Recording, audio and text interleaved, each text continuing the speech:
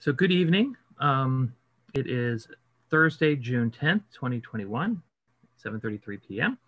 Um, my name is Christian Klein. I'm the chair of the Arlington Zoning Board of Appeals. I'd like to call this meeting of the board to order. Uh, as we begin, I'd like to confirm that all members and anticipated officials are present. So from the Zoning Board of Appeals, Roger DuPont. Here. Thank you. Mr. Hanlon. Patrick Hanlon. Here. Kevin Mills. Here. Sean O'Rourke. Sean is on by telephone.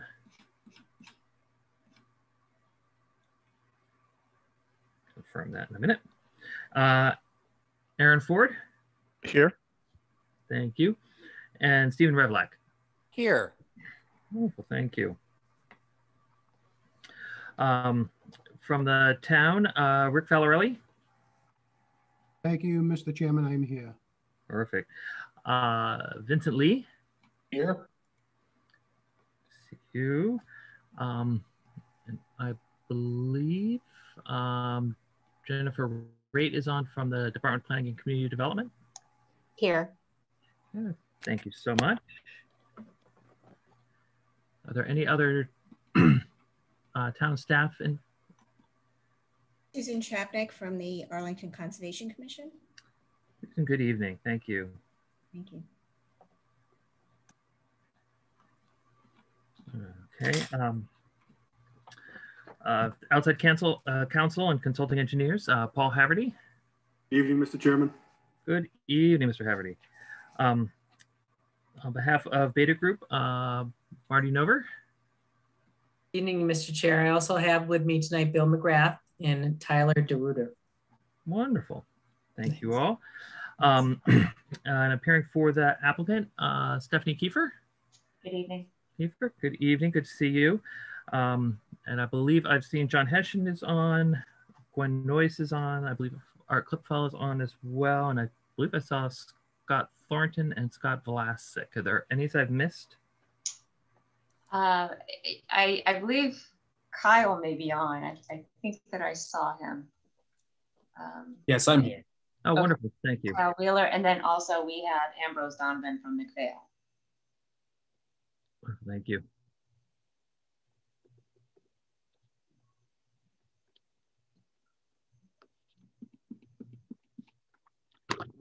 Okay.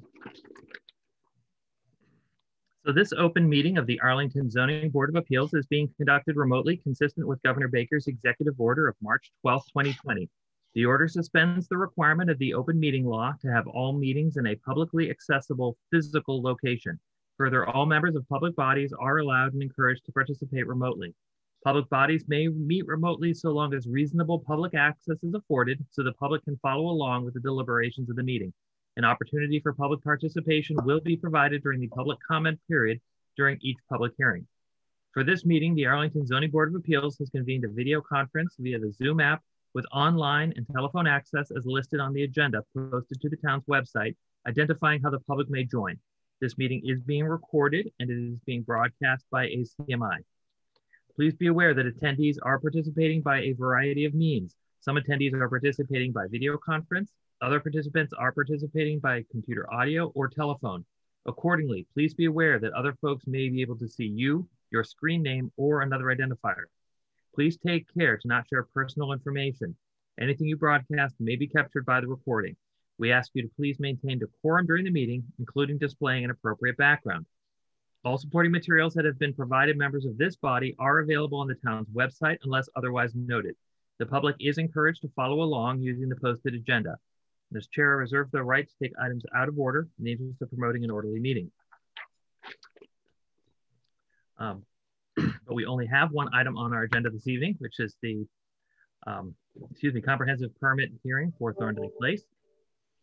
Um, as we begin, I'd like to review some ground rules for effective and clear conduct of tonight's business. Uh, so at the May 23rd hearing, the applicant presented their revised design, including six duplex houses on Dorothy Road with a combination of senior independent living and assisted living with an assisted living, uh, excuse me, with a combination senior independent living and assisted living building behind. Following up on that evening's hearing, the applicant submitted revised documents to the board on Tuesday, June 8th. Those documents were posted to the agenda for this evening's hearing. This evening's discussion will focus on the revised proposal from the applicant. We will open with a presentation by the applicant, followed by questions from the board. After board members, members of the public will be invited to, to provide their questions and comments. Um, so with that, um, Ms. Kiefer, if I can ask you to um, explain to us where the where the application is at this point. Very good. Uh, thank you, Mr. Chairman and, and members of the board. Um, just as a, an introductory, if um, we could also allow screen sharing for Scott Vlasic, um, um, so that when it comes time for him in the presentation to pull up material, he's able, he's able to do that. Um, and Rick, so, can you hear that? He is good to go, Mr. Chairman. Thank you, Rick. thank you very much. Um, so uh, with that said, and, and, I just wanted to do one quick update in terms of the project team here. That's today. We have a we have a, a, a full um, slate of folks, hopefully to answer any questions that you have. So in addition to myself, we have um, Art Klipfel and Gwen Noyes. We have um, Scott Vlasic and Kyle Wheeler from Bruce Hamilton um, Architect. We have um, uh, the civil engineer, John Hessian. We also have uh, Scott Thornton from Vanasse, um, Bob um, Bob Engler from SEB Housing, and as I um, and then Ambrose Donovan from McPhail Associates. So uh, I think I accidentally forgot to double check that Bob was on the call, but I, I saw his video pop up. Um, so you. with that said, as, as you said, Mr. Chairman, at the last hearing um, on May 23rd, we had uh, come back to the board with a revised concept, um, building upon the board's request for us to take a look about um, as to the reintroduction of those six duplex townhouses, um, which we did. And then behind that, um, there would be a, uh, a senior building, um, a, a four floor senior building. And um, based on the input that we received from the board and at the last hearing and, and further questions that they had, we, we went back and um, further assessed our, our building plans, our civil design, our traffic, and those reflected, as you made reference to, in our submittal of June 8 to the board. and there was likewise, um, according to my notes, there were some um, there were some comments on specific areas that the board had kind of asked us to take a look at, and so we we hope to provide um, greater clarity or responses to that this evening. So uh, with that said, um, in somewhat in the order of our presentation this evening, um, first we're going to start off with a submittal of the updated architectural plans and elevations and perspectives for the project. And as uh, Green Stacks um, and Bruce Hamilton will be describing for you in, in greater detail as to um, modifications or, or additional information, um, maybe is more appropriate for, for both the duplex structures as well as the senior residential building. And, and then with the senior residential building, we've also included a set of floor plans for the board to review. And it'll, it'll be a combination of um, studio one and two bedrooms as, as they will present.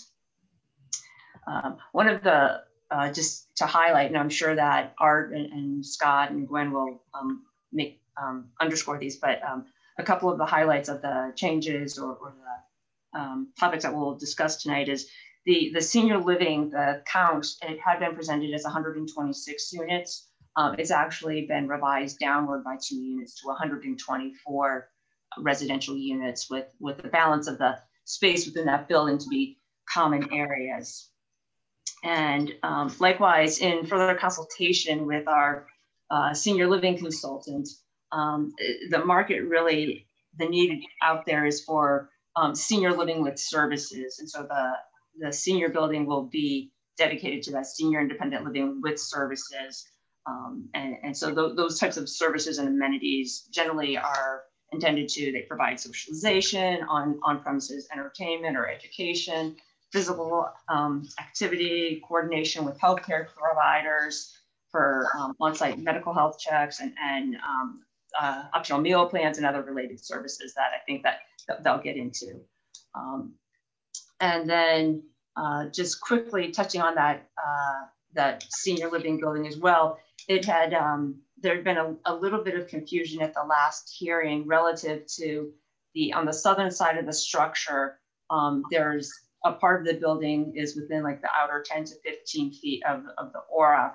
And there had been confusion um, and, and, we had tried to um, resolve it that under the prior multifamily, the 172 unit project, this, there had always been structure within that small portion of the aura. Um, it had been the uh, like the parking garage structure and then maybe some courtyard.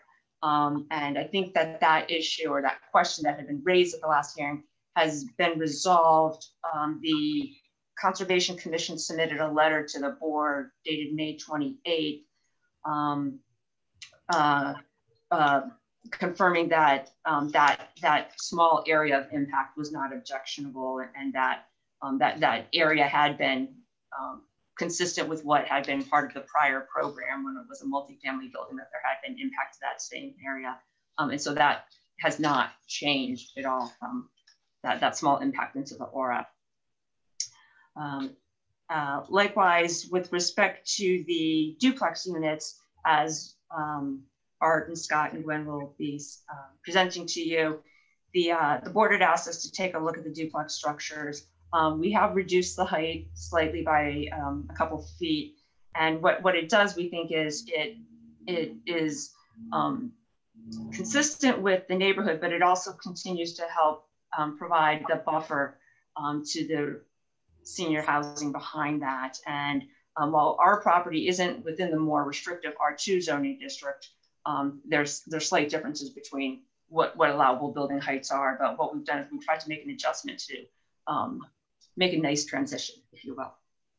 And um, I think the last thing I'm gonna just speak to in terms of the architecture with the duplex buildings, there was a, a question that had been um, posed to us within the Conservation Commission's May 28th letter, um, uh, basically just, just asking us to consider whether or not we could not have, um, we could exclude basements in the two easternmost duplexes, which are located in those shallow fingers of floodplain.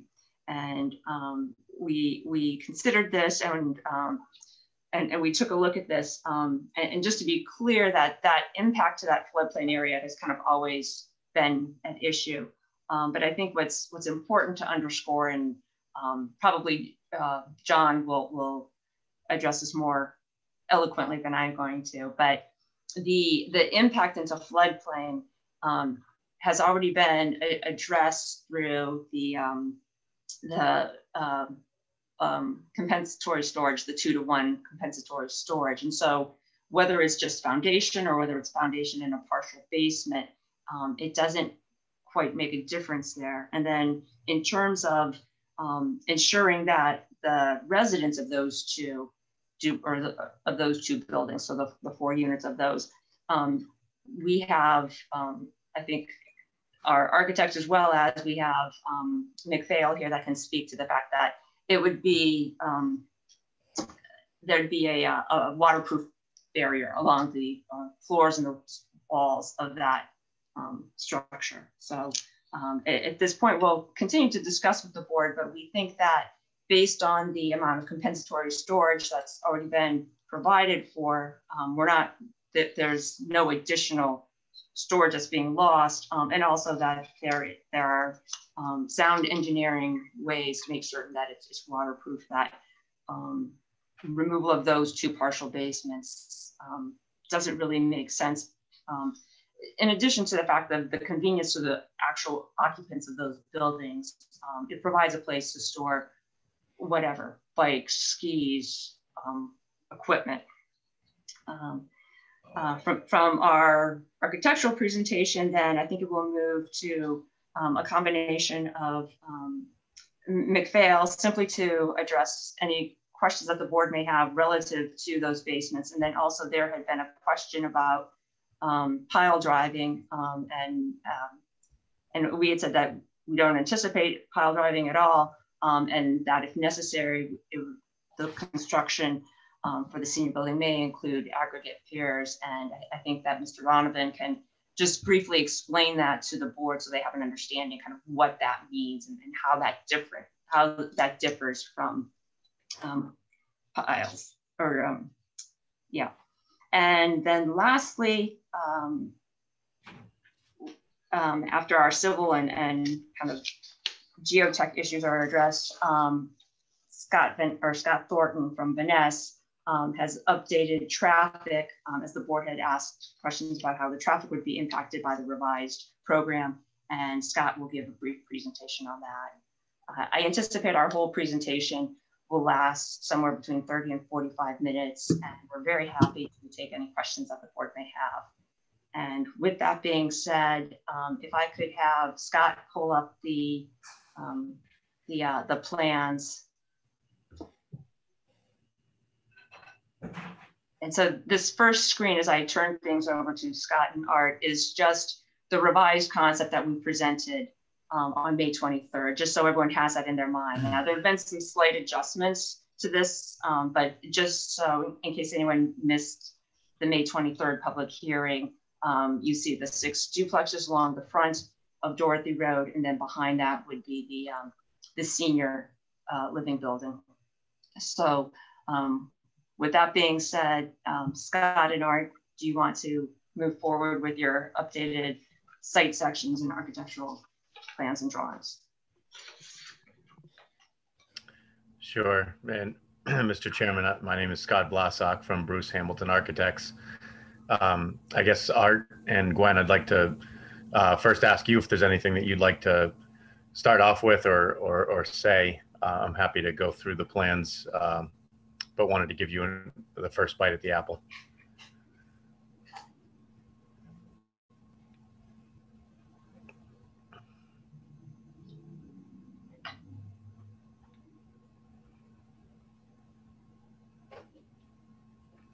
Maybe uh, maybe they'd like me to continue. so feel free to feel free to chime in, Art or Gwen, at any time. Sorry, I forgot. I'm sorry, we were on mute. Okay. I was just saying that that uh, we wanted to show this briefly, even though it has been updated uh, uh, since our last meeting. But uh, there were just a couple things. One is that we wanted to emphasize how much landscape area we are introducing to the plans that weren't there before, and to reiterate how um, of the six duplex townhouses, three of them will be designated to be affordable. That is, they would, for the, the owners who uh, take possession of them, they will be, as we've talked about in the past, something would, that would be a, a means of, of generating wealth that has been not available to many people in the past. So that's uh, one of the major benefits that this whole scheme does provide. Um, and as we've talked about, the amount of area that is now available for on the on the west end for landscape um, benefits for the for the uh, residents of the community, as well as um, what will be going on in the uh, area surrounding. So, well, that Scott can can deal with the cursor. But anyway, there were just a few things that we wanted to, to make sure that anybody who wasn't in the hearing last time would would see that we have uh, really appreciably uh, increased the amount of, of, of arable land that will have a, a benefit of, of being uh, absorptive of, of whatever rain falls on it. So that's, that's just, we can go back to that later if you want, but you can go on to the next slide. Mm -hmm. So do you want to talk about this? Uh, okay, Scott, you get to talk about this. Okay, thank you very much. Um, so I'm going to just briefly go back to the uh, the site plan. Um, I think Stephanie gave a really great kind of overview, and I'm going to try to keep my presentation pretty brief um, tonight because I do think um, you know what we're presenting tonight in terms of the architecture is really just um, minor revisions uh, through notes that we heard uh, and things that came out of the last hearing. But um, what uh, Stephanie was talking about, the two, just for the benefit of those who, um, you know, were trying to follow along, these two duplexes, uh, duplex buildings, which com are comprised of four separate units. Um, those are the, uh, the duplex units that Stephanie was referring to at the beginning. Um, so what, what I'll show you tonight, um, and I had a really good point too that, you know, we wanted to show this for the benefit of anyone who maybe wasn't present at the last hearing. So like I said, I'll go through this fairly quickly and then um, certainly happy to answer questions at the end. Um, so in the next slide, what I'm going to show you is the perspective down Dorothy Road. I think maybe most people have seen this before, but where my cursor is right now is approximately where I'm standing in that next perspective view, and I'm looking west down Dorothy Road. So we'll be really looking at um, what Stephanie was explaining about how the um, the duplexes along Dorothy Road are, um, you know, more or less screening the four-story senior living building behind. So as I go to that uh, slide here, the perspective has been revised slightly from uh, largely it's unchanged from the last version that we saw back in May. But as Stephanie noted, we did uh, reduce the height of the duplexes by two feet. Um, so it still allows uh, plenty of screening, uh, but it, it, fits in uh, better with the neighborhood and the scale. We also um, made some minor architectural adjustments to the, um, the duplex uh, here, and I can show you a little bit better on the next uh, couple slides here. So this is a uh, north elevation, a streetscape elevation, if you will, of Dorothy Road. Um, along the top of the page here are all six uh, townhouses, I'm sorry, duplexes. And below that, we've just uh, kind of enlarged uh, three of them. Um, and then in the background, you can see the, uh, the scale of the um, uh, senior living building behind it. Uh, now, this is, of course, a two-dimensional view. Um, and, uh, you know, so of course, the four-story building is taller. But again, back, looking back to the perspective view, um, you can see how the, uh, the duplexes will serve to uh, screen that building. This is the uh, individual view of a typical um, one style of duplex that we have. And this is the other uh, duplex. This is the one that uh, we made a, few tweaks to the architecture, primarily up in this area where the dormer uh, sits in the roof here. But inside the, um, the floor plans of these units would be uh, more or less identical. This is a west elevation. Um, this is actually a new drawing that we hadn't um, submitted last time, but you're um, you're standing uh, to the west of the uh, site, uh, western part of the site, and you're looking east. So this right here is the main entrance to the uh, senior living building. This is a uh, duplex unit out near Dorothy Road. So this view kind of gives you a sense of the scale. Um, and again, if you're if you're to kind of trace a sight line here, uh, really get a sense of how that how these duplexes are scaling, uh, screening the um, uh, the vision to the four-story building behind um, from the ground level. Um, but you can see here the approach to the building would be uh, per the site plan, you know, would kind of have an entrance driveway here. Uh, there's some parking, there's a turnaround uh, for easy drop off and pickup at the main entrance. And here you see the entrance to the parking garage down below. Uh, these are two site sections. Again, we were we showed these last um, last month. And if I zoom in, you can actually see kind of the uh, sight line that, that we've uh, drawn here to illustrate uh, the screening of the building. So these are really diagrams to, to show more of the, uh, you know, the relative heights um, of the, uh, of the, of all aspects of the site, really, how the buildings sit in context to the, to the road and to the rest of the site. Um, this one shows a uh, cut through the western wing, I guess you'd say, where the um, building is farther from Dorothy Road. And this next one here is cut through uh, as you move further to the east. Um, the building does jog and gets a little bit closer uh, to Dorothy Road. None of this has really with, changed. With this section, Scott, you might uh, point where that car is and point out that we did, uh, I think we talked about it before, but we raised the floor of that uh, garage by three feet uh, thinking of the hydrology. So that's that's actually up three feet from uh, the uh, 172 version. That was the same as last time, though. So I just yeah. Yeah, no, but that, that I, I agree, Art. That is good to um, you know kind of underscore here. So the garage from the um, you know multi as compared to the multifamily uh, proposal, uh, that's absolutely correct. The garage has been raised approximately three feet, and you can see that the garage on the the backside uh, here is not very far below uh, the surrounding grade.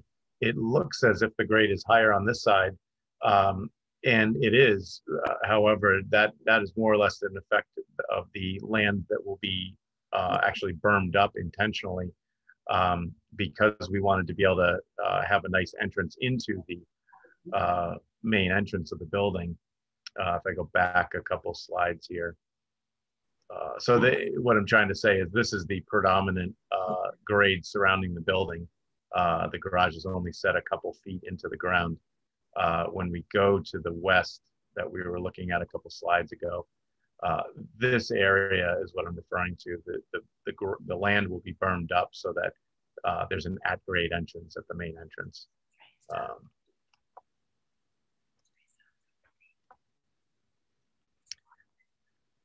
uh, what uh, the next few slides that we have are new uh, and they are um, an attempt at you know kind of giving uh, the board a little bit of an idea of what the floor plans for these uh, for the multi uh, family I'm sorry for the four story senior living building could look like. Um, so we've actually started to lay out units here. this is all fairly schematic, but I think the main point to make here is the main entrance being to the building being right here. Uh, we've kind of kept this area just as a shaded uh, green area to indicate uh, the common area. And that common area would contain all of the uh, amenities and the spaces that Stephanie was mentioning in her presentation. So we, what we really end up with is in the context of a senior living with services building, you know, you're talking about a building that has a larger percentage of common space in it uh, compared to a typical apartment building. So you may be talking about up to 35% of the building area across all the floors is uh, devoted to those amenities and common spaces um, compared to say maybe approximately 20% in a, uh, a typical uh, multifamily building. So there's certainly more common space. Um, you can see that that common space would be focused kind of toward the core of the building. We've still got circulation like elevators and stairs uh, going up and down. Uh, but that area would actually be programmed, uh, you know, in more detail uh, once we know a little bit more about uh, the spaces that would be needed by these particular uh, residents in this this community.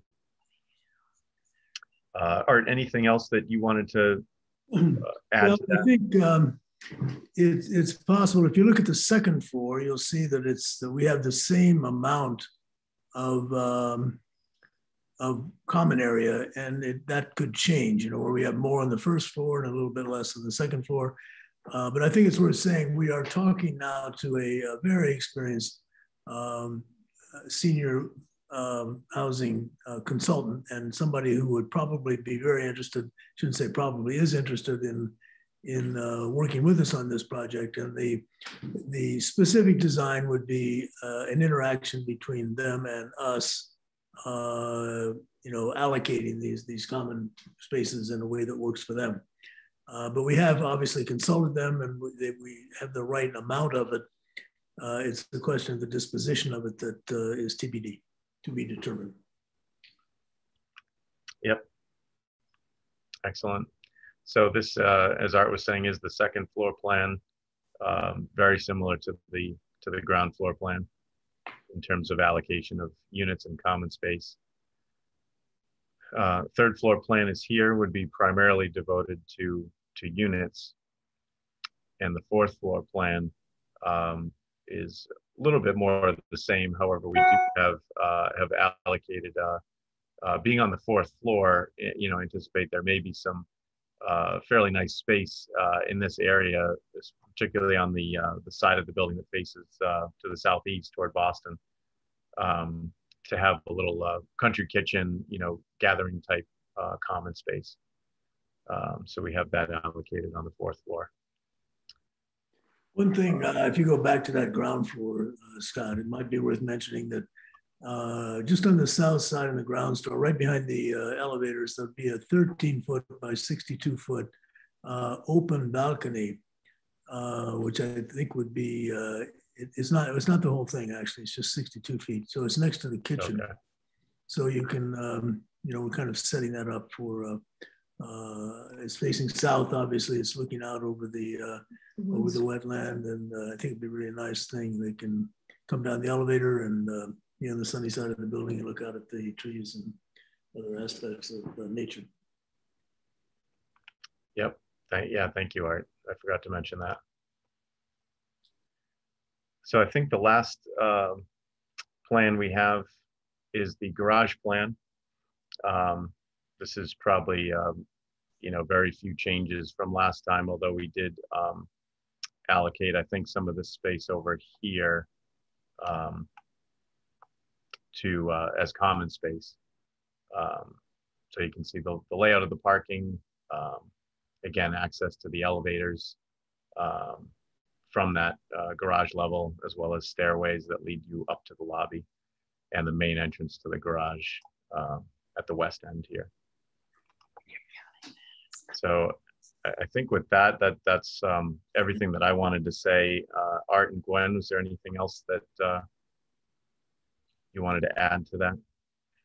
Well, one one uh, thing, just just a thought. I, I think uh, you know we've talked many times now to the um, uh, the fellow we're working with on on the senior living with services, and uh, I think it's worth noting that um, these people are not necessarily in assisted living, certainly not in a nursing home, but they do tend to be 80 to 90 years uh, of age uh, by, by sort of average.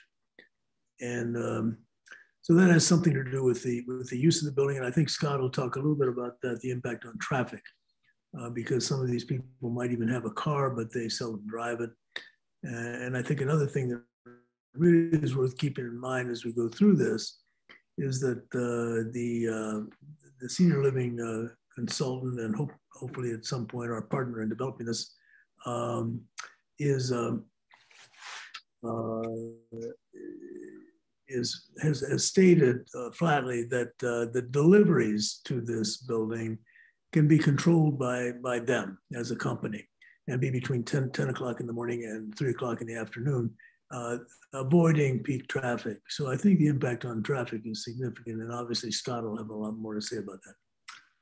I, I think um, I'll just mention a couple things about about when we say senior living with services, that means that there would be um, wellness and security and uh, uh, you know exercise room and things that are are services that are available uh, on a kind of a la carte basis. It is not assisted living.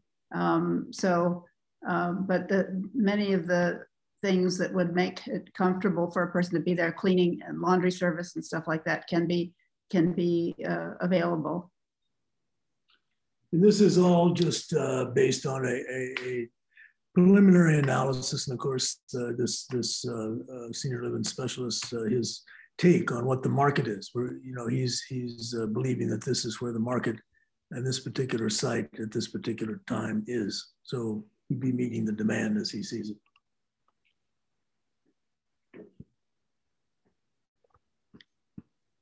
I don't know if Scott Scott just put that the the the site plan up on, on the screen.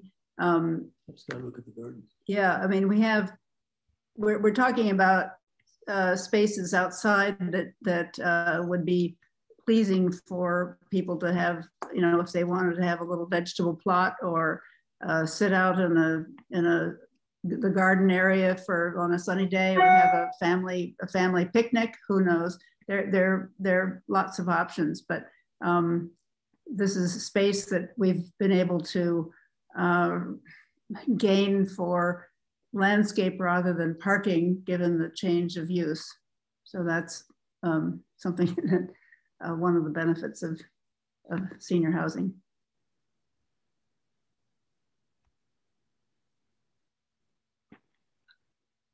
So I think um, that, sorry about that. Um, yeah, go ahead. I, I was saying just to um, somewhat build upon um, these these plans. If you could, Scott, um, maybe uh, go to just even the next plan. Mm -hmm. Oh, I'm sorry. The um, uh, go go uh, go maybe two more. Okay. Yeah. Well, this, this is good right here, actually, on, on the north elevation here. So um, as I had referenced in my introductory remarks, um, the intention for these six duplex units is to also include partial, not, not full basements, but partial basements um, in, in each of the six. And I, I think that um, this may be a good time. Um, Ambrose, if you would like to um, provide comments both as to, um, as we talked about the, the finger of floodplain on the eastern two um, uh, duplex buildings, as well as um, then with respect to the construction of the of the senior living um, and, and whether or not um, aggregate piers would, would be necessary. I think maybe now is a good time to kind of talk about basements and, and how that impacts or doesn't impact um, the surrounding community in terms of, of groundwater, and then also um, just in terms of um, methodology for construction if, if, aggregate piers are required. What, what does that mean? Uh, I think that. Sure. Sure. Uh, I mean, just just by way of brief introduction, I'm the president of McPhail Associates. We've been around for 45 years. We're located in Cambridge. We've done a lot of work in uh, Arlington, Cambridge, North Cambridge, Arlington area. Um, some of the projects in Arlington that you might be familiar with are Arlington 360, Thompson Elementary School, renovations to the uh, fire station, and we're currently working as the uh, geotechnical environmental consultant on Arlington High School. Um, we've done work in this area in particular in the past. We did a pumping station nearby at uh, Russell Field um, back in the mid 80s, um, but the soil conditions are still similar. Um, based upon you know what we expect for soil conditions out here, there's some fill material, probably five or six feet of fill material, some organic soils below that, and then a natural marine sand, marine clay deposit. Uh, groundwater is present down at a depth of about uh, six feet, five feet below ground surface, roughly around elevation two and a half to three. Ground surface is at elevation plus eight to plus 10. Um, the basements are designed to be above, at or above the groundwater table, um, or the partial basements, I should say, are designed to be at or above the groundwater table. So we don't expect that they would have an impact on groundwater we plan to design these basement areas, or I should say partial basement areas, as waterproofed, um, such that they don't affect the groundwater table. Um, the slabs would be waterproofed and the walls would be waterproofed. Um, we would expect that the groundwater in this area, given that it's a relatively flat area, that the groundwater is relatively flat, that there is not really a significant groundwater gradient, and that means gradient is flow of groundwater. Um, that the groundwater is is pretty flat in this area and pretty much models the ground surface elevation. Um, and as such, it it may seasonally come up and may seasonally go down, but there's not a significant flow to the groundwater table. Um, as such, we don't think that these buildings really affect any groundwater movement um, in this area, in that there really is not a significant groundwater gradient that's causing the groundwater to move. Um, the soils are relatively silty. The permeability of these soils is pretty low. Um, and as such, water does not move readily uh, through these types of soils. Um, it moves pretty slow. It's probably on the rate of a couple of feet per year in terms of movement. So it's not a, it's not like a, a river in, in terms of your imagination of what, you know, groundwater might flow, might be like. This is more like a, a vast lake. Um, and I think probably at one point in time, this area might have been a large lake uh, going back in geologic time, but uh, and that's because it still looks pretty flat. Um, so I think if you visualize it as a, more as a lake than like a river, and that water really is not moving. It may go up and down seasonally, but it's not really moving significantly. Um, in terms of the foundation systems, as I mentioned, there's some fill, some organic soils over natural uh, sand and clay deposits. Um, we anticipate that uh, we may well be able to build all of these buildings on a, just a spread footing foundation system, which is probably the simplest foundation system you can use. However, depending on the thickness of the organic soils, we may need to use some aggregate piers. Um, these are not pile foundations. I've heard that people are concerned about pile foundations, and I know that a number of the buildings on the other side of Route 2, not too far away, uh, use pile foundations. I might have been involved in one or two of those. Um, these are not pile foundations. It's when we use aggregate piers, basically what you do is you auger a hole in the ground that's probably about a foot or two feet in diameter. It goes down through the fill, organic soils, and maybe a foot or two into the natural soil, the sand and clay deposit below that.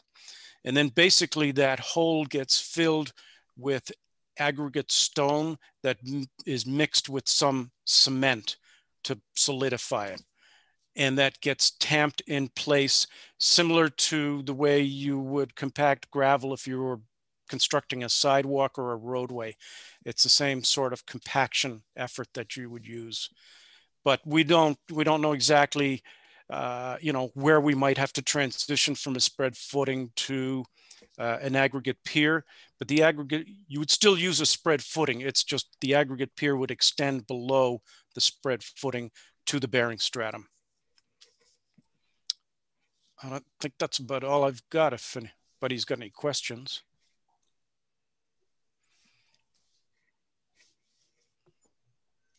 I, I, think if there aren't any, we can circle back at the end and, and perhaps move next to um, the update um, on the engineering and the civil. Um, there were two updated civil plans and um, the update to the stormwater report that um, I can turn it over to John Hessian now.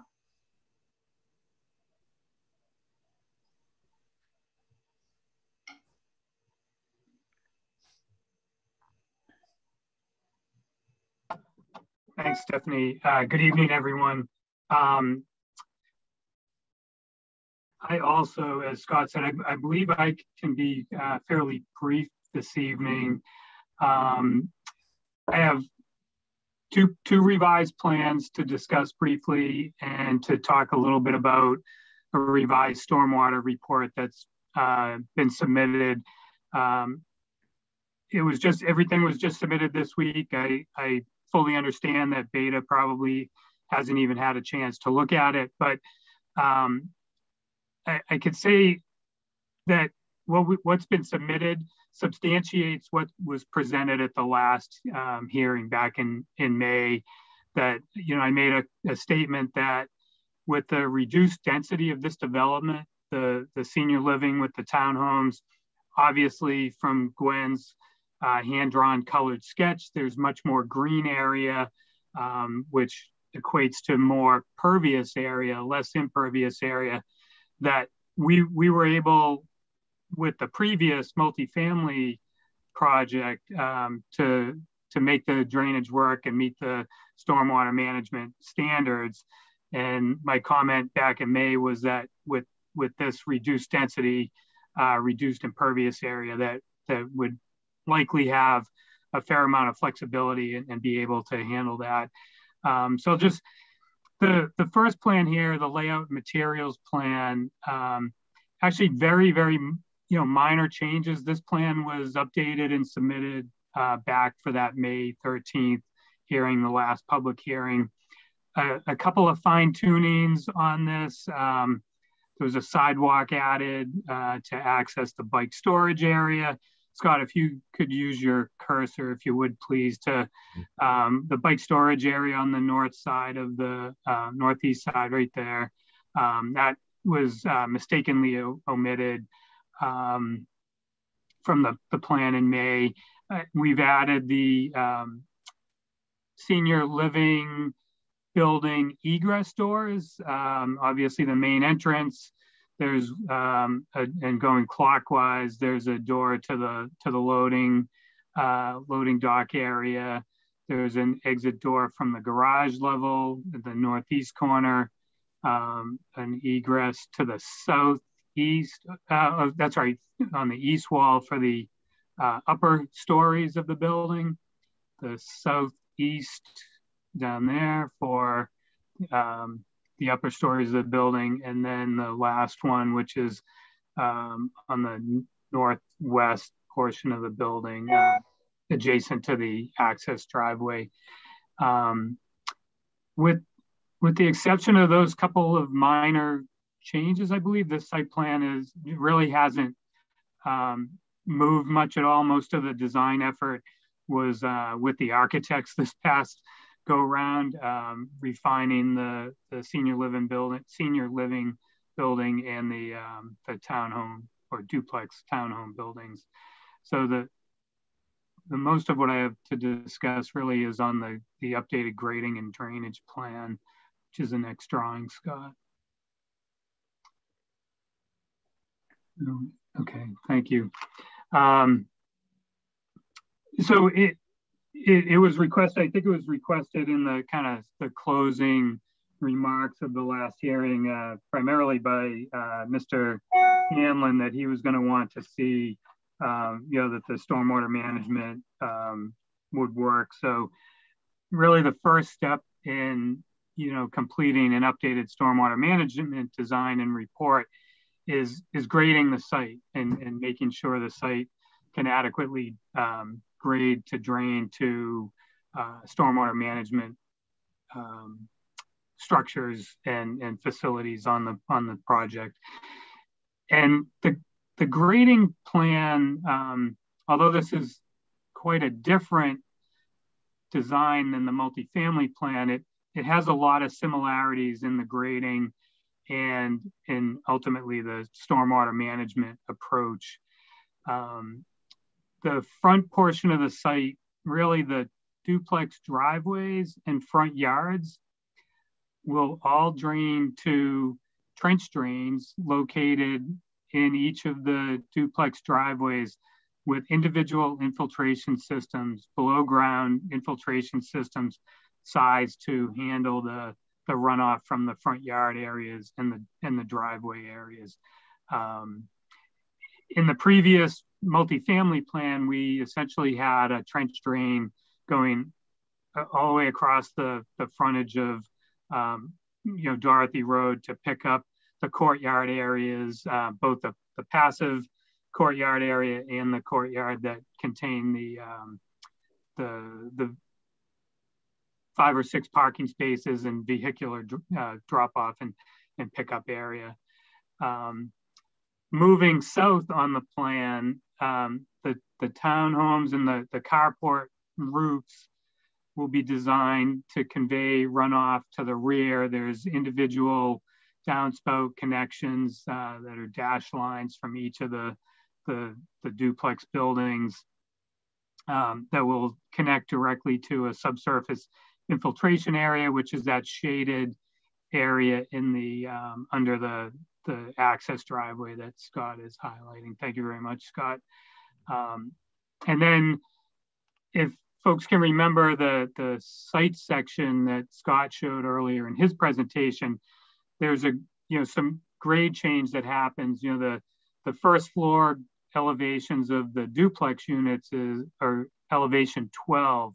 The first floor, the residential level of the senior living building is elevation 16. So there's four feet of grade change from the duplex backyards to the front entrance of the, you know, the four story building.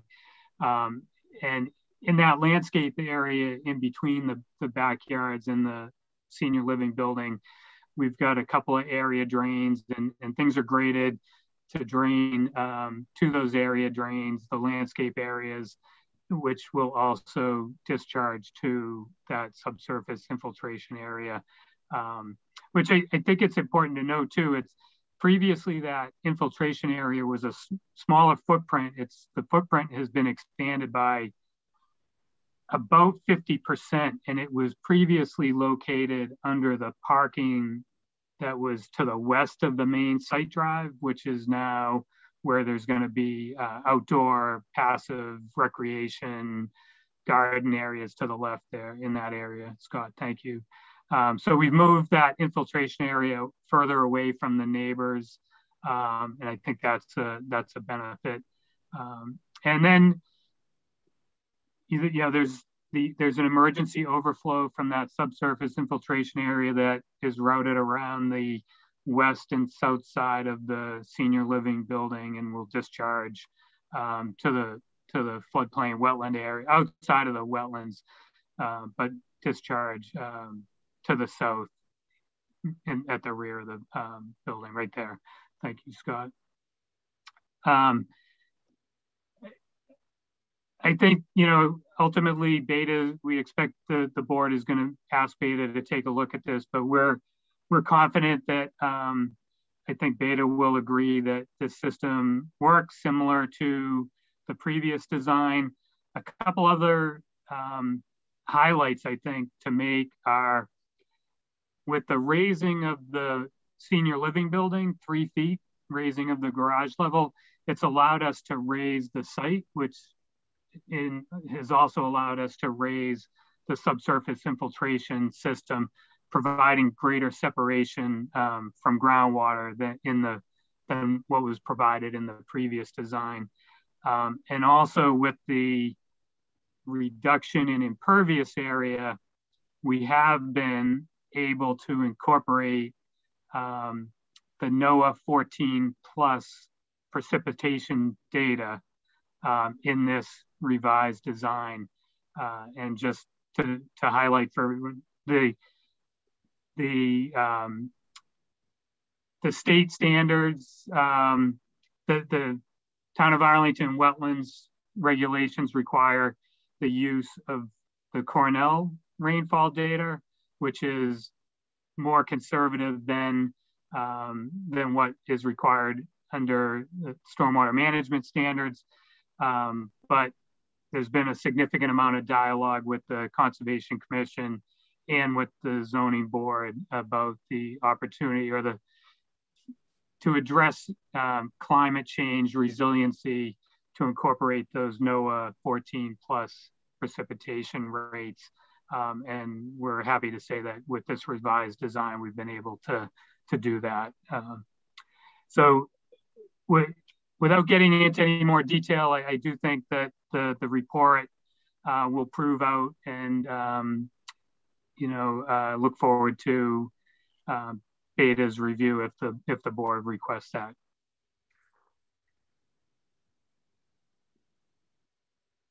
Thank you, John.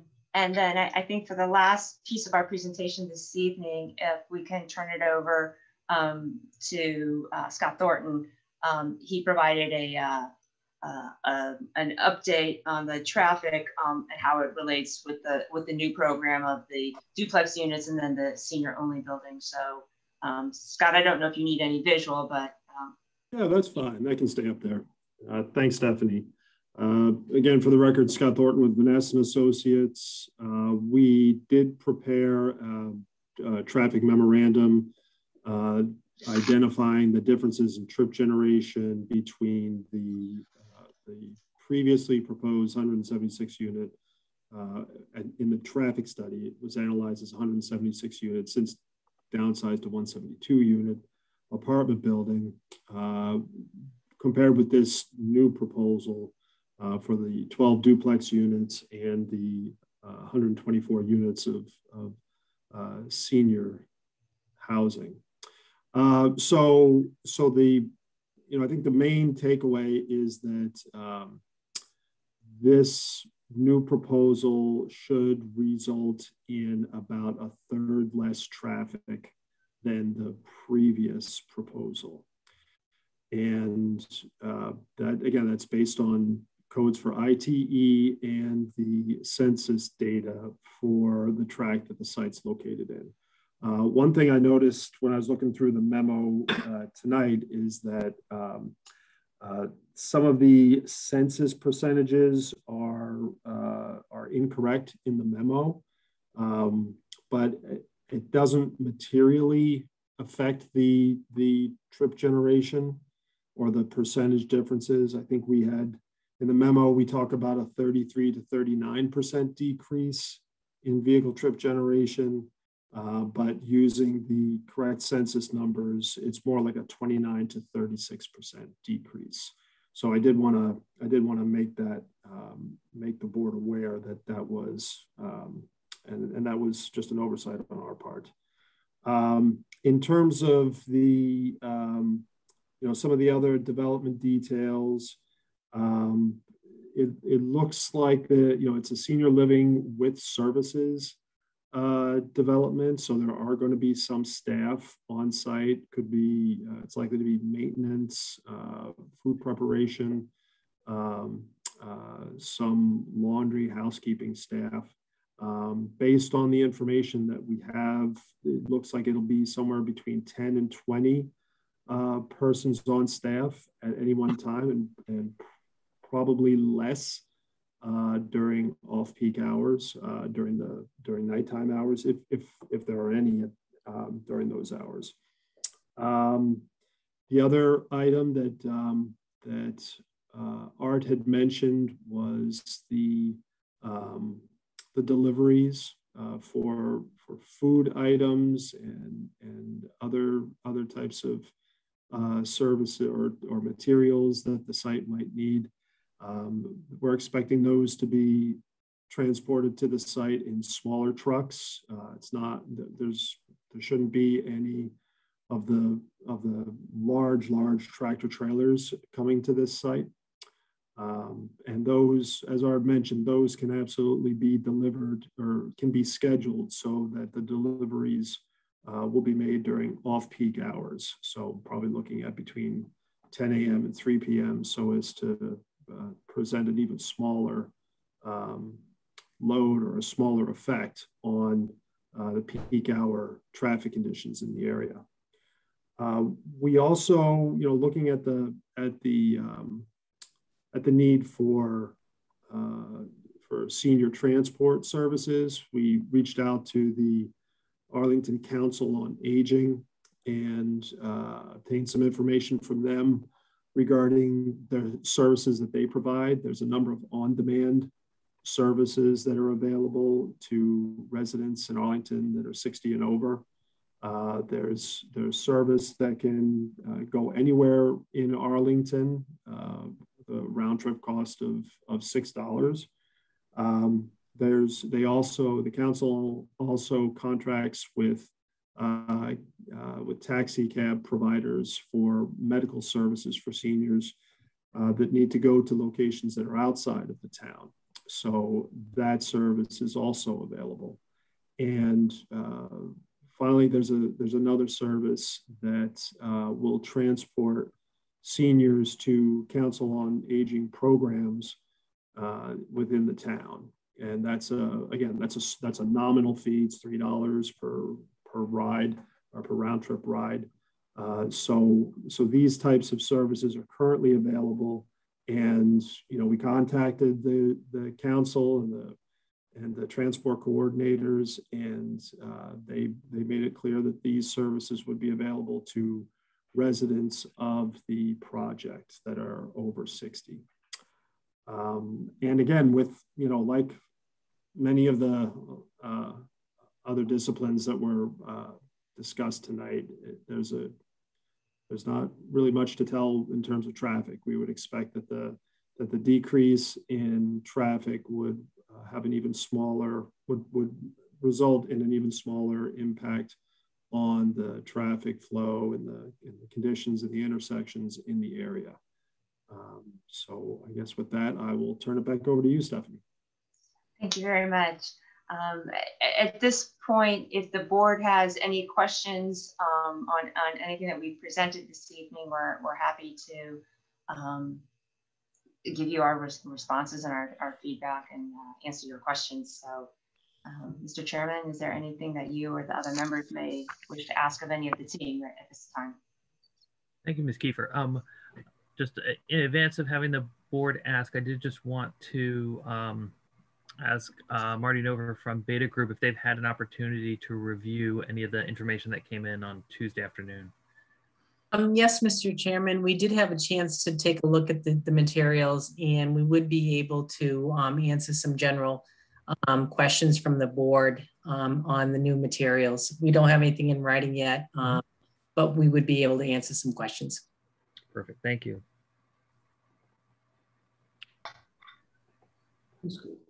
So then with that, um, I would turn to the board. Are there members of the board with questions? Mr. Chairman, Yes, Mr. Ford. uh, I have a question for um, Mr. Donovan. Um, Mr. Donovan, one of the concerns that we have on this side is uh, doing work in the uh, floodplain buffer zone. And uh, I'm, so uh, I really have a question for you about the excavation and the extent of excavation beyond the face of the building. Uh, I'm assuming the excavation will be laid back maybe at a, a two to one, um, and assuming that you know the bottom of the footings are uh, 17 feet below finished floor, that the excavation could extend uh, maybe 34 feet beyond the face of the building. I, is that what you would envision? No, no, I don't think so. I think um, so. For instance, the the uh, the main building, the larger building. I'm not sure what we're calling it, but the the finished the the the so-called garage floor level is at elevation plus six. Existing grade is at about elevation plus 10 in that area, I think. Um, we would expect that the footings, the foundations for that building would go down perhaps another two feet down to about elevation plus four. So it would be about a six foot cut, not a 17 foot cut to get to the bottom of footing grade. If we were to put in the aggregate piers, they're installed within a localized hole that's just drilled out and then filled with aggregate. So the it's not an excavation. So I, I don't foresee any excavation to any kind of depth much greater than six or perhaps maybe seven or eight feet. Fair enough. So now if we go seven or eight feet down and you are you, uh, I would assume the plan would be to lay back the soil to the right of that building because, um, and if so, how far would the layback happen? I'm trying to get, maybe my question to you uh, is how far from the face of this apartment building would, could the excavation occur, assuming that you lay it back, lay the soil back as opposed to use any sort of uh, supportive excavation system? Yeah, I, I don't think we will need supportive excavation here. I do think it would be a layback. Um, two to one is probably more than what we would need. It would probably be more like a one and a half to one. In other words, if we're six feet below grade, we would be nine feet out.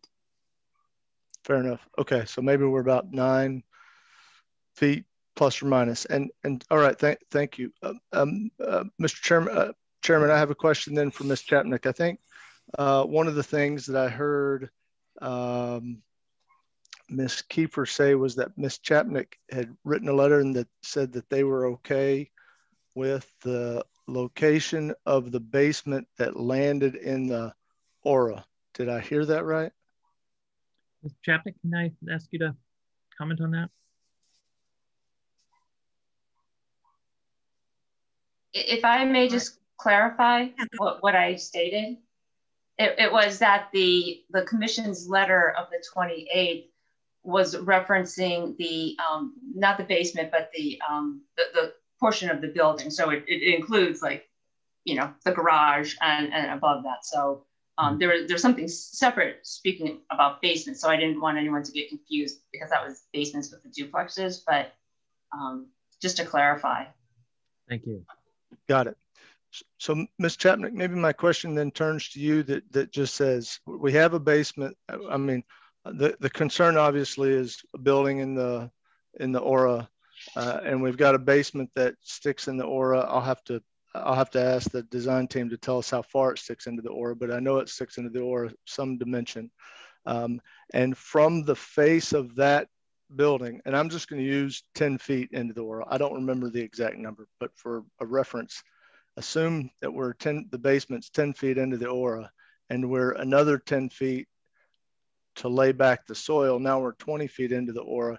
Can you co comment on on on uh, your opinion of this? Because you know, if we're trying to protect the the floodplain, it feels like we're starting to encroach. So I'd be interested to hear uh, your your your viewpoint on this. Sure. Um, so the the the buildings in the floodplain, it would be great if we had a picture of that. Um, where the floodplain is, the fingers of the floodplain. I don't know if that's something anybody can pull up quickly um, because it might just help with the conversation. I think it's right there. Did it show on the other um, plans? It should be part of the building. It, it should be on the building, not the duplexes. On the, you need to go further down page. Yeah, somewhere in that area. Okay, so you can see the, the flood zones. Um, they're very, very faint um, kind of gray area. Um, yeah, I think he's talking about the ones on the, uh, towards Dorothy Road though. Is that what you're talking about, no. Mr. Ford? No, on the back no, side of the building. these the, down here. Yeah, everybody, if we recall, the basement isn't shown up on, maybe it's this plan. And, and that was where the confusion lied before that the, the basement didn't show up on the floodplain plan, although the basement actually extends beyond the face of the building. So what we have is the basement into the into the aura. Mm-hmm. And and my question, and so I, I agree. I would like to see a mm-hmm. plan it would be helpful to see a plan that showed the basement encroachment onto the aura so that we can all uh, get a sense of if you have the basement into the aura and then an additional 10 feet of excavation beyond that to, to get your opinion on the impact of that into our floodplain or buffer zone. Right. Um, right. I did discuss, so based on the plans that we looked at um, from the last meeting and to the best of our knowledge from looking at those plans. And we concluded that there was approximately a 15 foot intrusion into the aura from the building. We had not considered any grading at that time. That wasn't discussed. So we were unaware of that. All we talked about was the 15 foot intrusion into the aura. And we determined in the Conservation Commission that in consideration of the woodland restoration and other on-site mitigation, that we were agreeable to this minor intrusion. And that's consistent with decisions we've made on other projects in the past. Uh, minor intrusion on the outer, the outer kind of 75 to 100 foot of the aura. However, we did not consider another 15 feet on top of that 10 or 15 feet on top of that. Mr. Ford, because we were not aware of that. And, and, I won't put you on the spot to answer right now, but I think it would be helpful for us to understand the implication of that in your in your opinion. You know, in light of the fact that we're learn, you know, that we understand that we're partially in the aura, the excavation is going to get laid back and go further into it. Does that give you any heartburn, or should we have any concerned right right that. no thank you thank you for asking i think generally and the, the way we interpret it um, with the mitigation and the restoration that we've seen on site that the outer 75 to 100 feet so that 25 feet way on the out of the aura that would be agreeable to us generally now we didn't discuss that in the commission. We only discussed 15 feet, so I want to be fair about that in our public discussion. However, um, in terms of weighing um, the mitigation and the restoration on the rest of the site versus the intrusion in the outer 25 feet of our aura, um, it's consistent with other decisions we've made. So that's a long answer. And the short answer, putting me on the spot, is within the outer 25 feet of that aura from the 75 to 100. I believe that would be considered agreeable given the mitigation that, that's happening on site. If it intrudes further into that, um, I think we're, we're going to have a little trouble because um, then, then we start being much more concerned about the habitat impacts and environmental impacts of that intrusion. Okay. Thank you. And Mr. Chairman? Uh, Ms. Kiefer? Um, if I just may, just um, in, in, case there's any confusion about various terms. So um, floodplain or, or bordering land subject to flooding um, does not have a buffer zone, just so everyone understands that, that the floodplain is the floodplain. And then the aura um, is what normally one calls the buffer zone, um, and that is to areas such as bordering vegetated wetland, BVW or, or IVW. So um, th there's a difference, just if there's any confusion between floodplain and then um, impacts to buffer zone. Um, under the State Wetlands Protection Act, the buffer zone is not a resource area, but under, as we discussed, under your by, uh, wetlands bylaw, mm-hmm. um, the aura is, um, it is a resource area. It doesn't mean that no work is permitted within it, but um, as Ms. Chapnick was just referencing, um, but, but just in case there was any clarification or any confusion as to those terms. Thank you. Right, thank and, you. Yeah, Stephanie and, and, Mr. Chairman, um, this is John Hessian. If I could add a little clarification too that, that might be helpful um, with your permission. Please. Um, Scott, would you mind scrolling to the next drawing, the grading and drainage, the same kind of the same viewport you had? Yeah, great. There you go. So, um, and then can you, that, that is the 100 foot buffer, or that's the limit of the aura. So that little semicircular wedge is the footprint of the building that's proposed within the aura. And, and Mr. Ford, I, I thought I heard you saying that you you thought that the garage extended further beyond the building footprint. That's not the case with this revised project. In the multifamily, the garage extended to the exact limit of this building, but the living um, spaces above the garage were set back about 10 feet. So it's the exact same amount of structure in the aura um, as with was with the previous plan. And so that's the limit of the aura. And with respect to the layback area, whether that's nine or 10 feet, um, south of the building, you could see the, the asphalt, porous asphalt walking path, which is centered on the um, emergency access, you know, emergency vehicle access drive. That is also within the R. It has been that way since the revised plans submitted on November 3rd um, last year.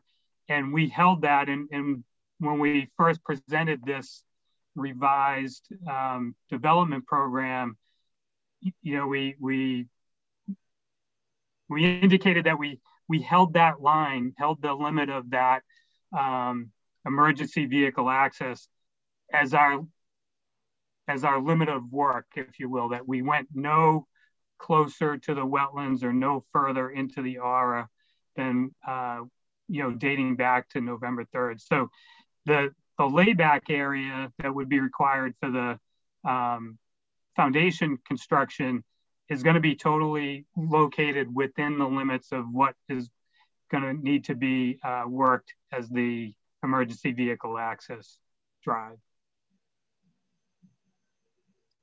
Okay, thank you. Yeah, thanks. Thanks. Anything further, Mr. Ford? No, no, that, that was it. And uh, uh, uh, thanks, Mr. Hessian, for clarifying that. I, I was, uh, you're right. I, I had it misremember, but the point I was trying to make was just how far off the building the layback was going into the aura. But uh, it, uh, as long as I think everybody, we all, uh, including me, understand that that uh, it's common practice and, and acceptable to work within the 25 outer feet of the aura and that construction doesn't extend beyond that.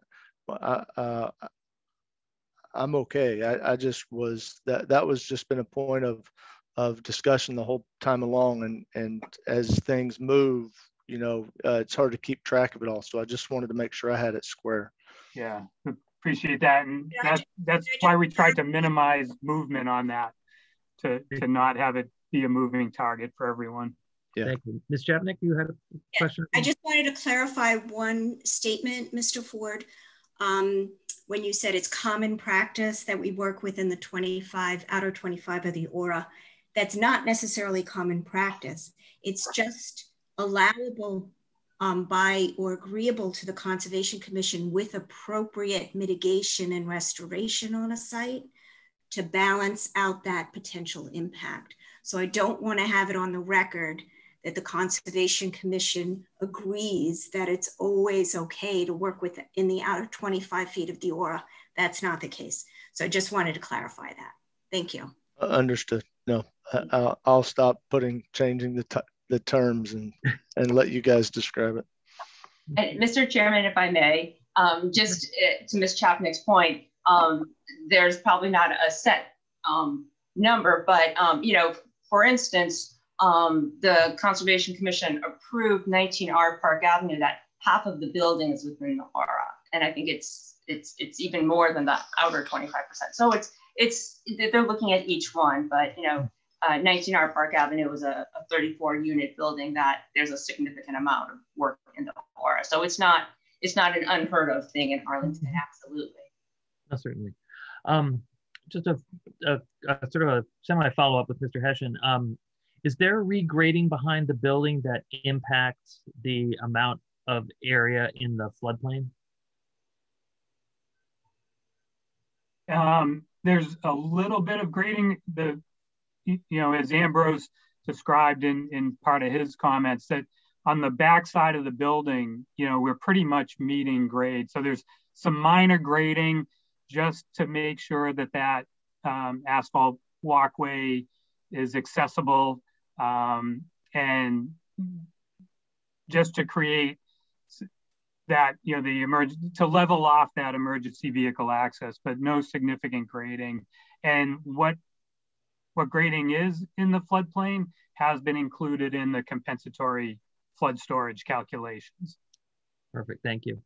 Um, and just uh, one further clarification. So the, the porous asphalt that we keep discussing that's a part of the, the pathway around the building, is that, can you describe what that material is and whether it's something that um, is capable of leaching any, any chemicals out of it? I can I can tell you a lot about it because the Canton Conservation Commission, where I hmm. live, required that I do my driveway with it. so it, it's it's really it's a it's an asphalt um, paving product that really it's it's the aggregate and the asphalt mixture, just like your own driveway or the pavement on the street, or if you have an asphalt sidewalk. Um, and it what it's really missing is the sand. So water is able to just infiltrate through the the, the voids that are um, you know between the aggregate pieces of aggregate and the asphalt that's binding it together, and it it's oftentimes referred to as popcorn pavement. Um, I will say, uh, you know, it's it's um, on my driveway it's it's great. It, it actually helps thaw. Um, ground temperatures travel up through it, so it helps um, reduce kind of snow and ice buildup a little bit. Not a t- obviously you have to shovel, um, but it, it drains very well, and and there's just like any um, other paving product, it, it doesn't leach any um, hazardous materials. Okay. Okay, thank you. Um, are there other questions from the board? Mr. Chairman? Mr. Hanlon? Um, this is probably going to start off with, with uh, Mr. Thornton. Um, I notice in the duplex analysis, we have basically assume a total of, of I think it's six person trips uh, from the 12, um, the 12 uh, duplex units uh, in the peak hour in the morning. That, that is, those are the exiting trips. And in the evening, the exiting trips total, I think, five, uh, two uh, through cars and, and two through transit. Um, and this, I gather, comes from uh, low-rise multifamily. And I'm wondering, it's that seems sort of little. Uh, I'm guessing that maybe people living across the street might think that's a bit little, and I'm assuming that the same ITE generation figures that are applicable to these duplexes also would be applicable if you were called upon to, anal to analyze the two-family housing that's in the immediate vicinity. Is is that right? Yeah, yeah. I mean, that, those numbers are are are right from the ITE manual. If if we were to um, if we were to run similar calculations for the for for similar units uh, in the neighborhood, we should come up with with similar numbers. Correct. Okay. Um, so looking at the seniors, I'm I'm, I'm a little perplexed. Um, I take it that the that because they're senior. First of all, when the ITE does this, how do they define what a senior is? So so there, there are different categories of, um, of, of senior slash assisted living uh, uh, developments. And uh, what they go by are probably the, um, you know, how the sites are, are categorized or how they're known. Um, so if they're if it's known to be a um, something like a uh, if it's known to be 55 plus, uh, then it's then it's counted as a senior housing. Uh, then it can be counted as a as a senior housing development.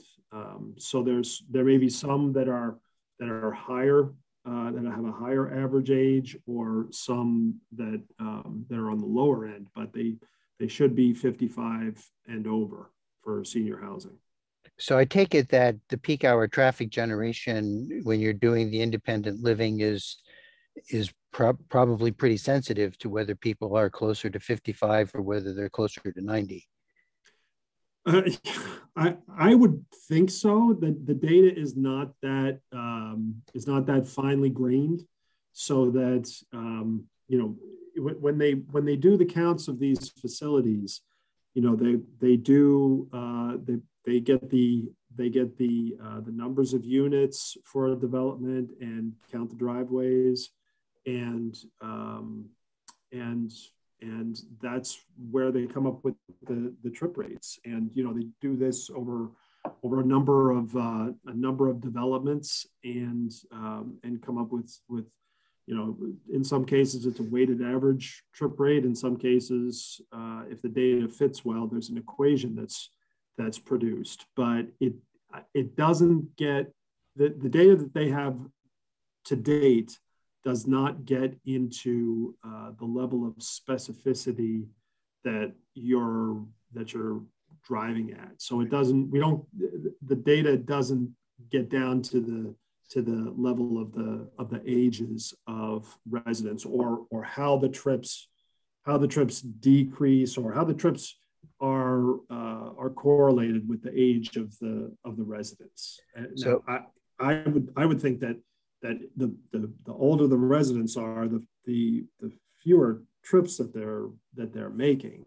Um, but again, that's that's not something that's that's sort of clarified in the trip generation manual.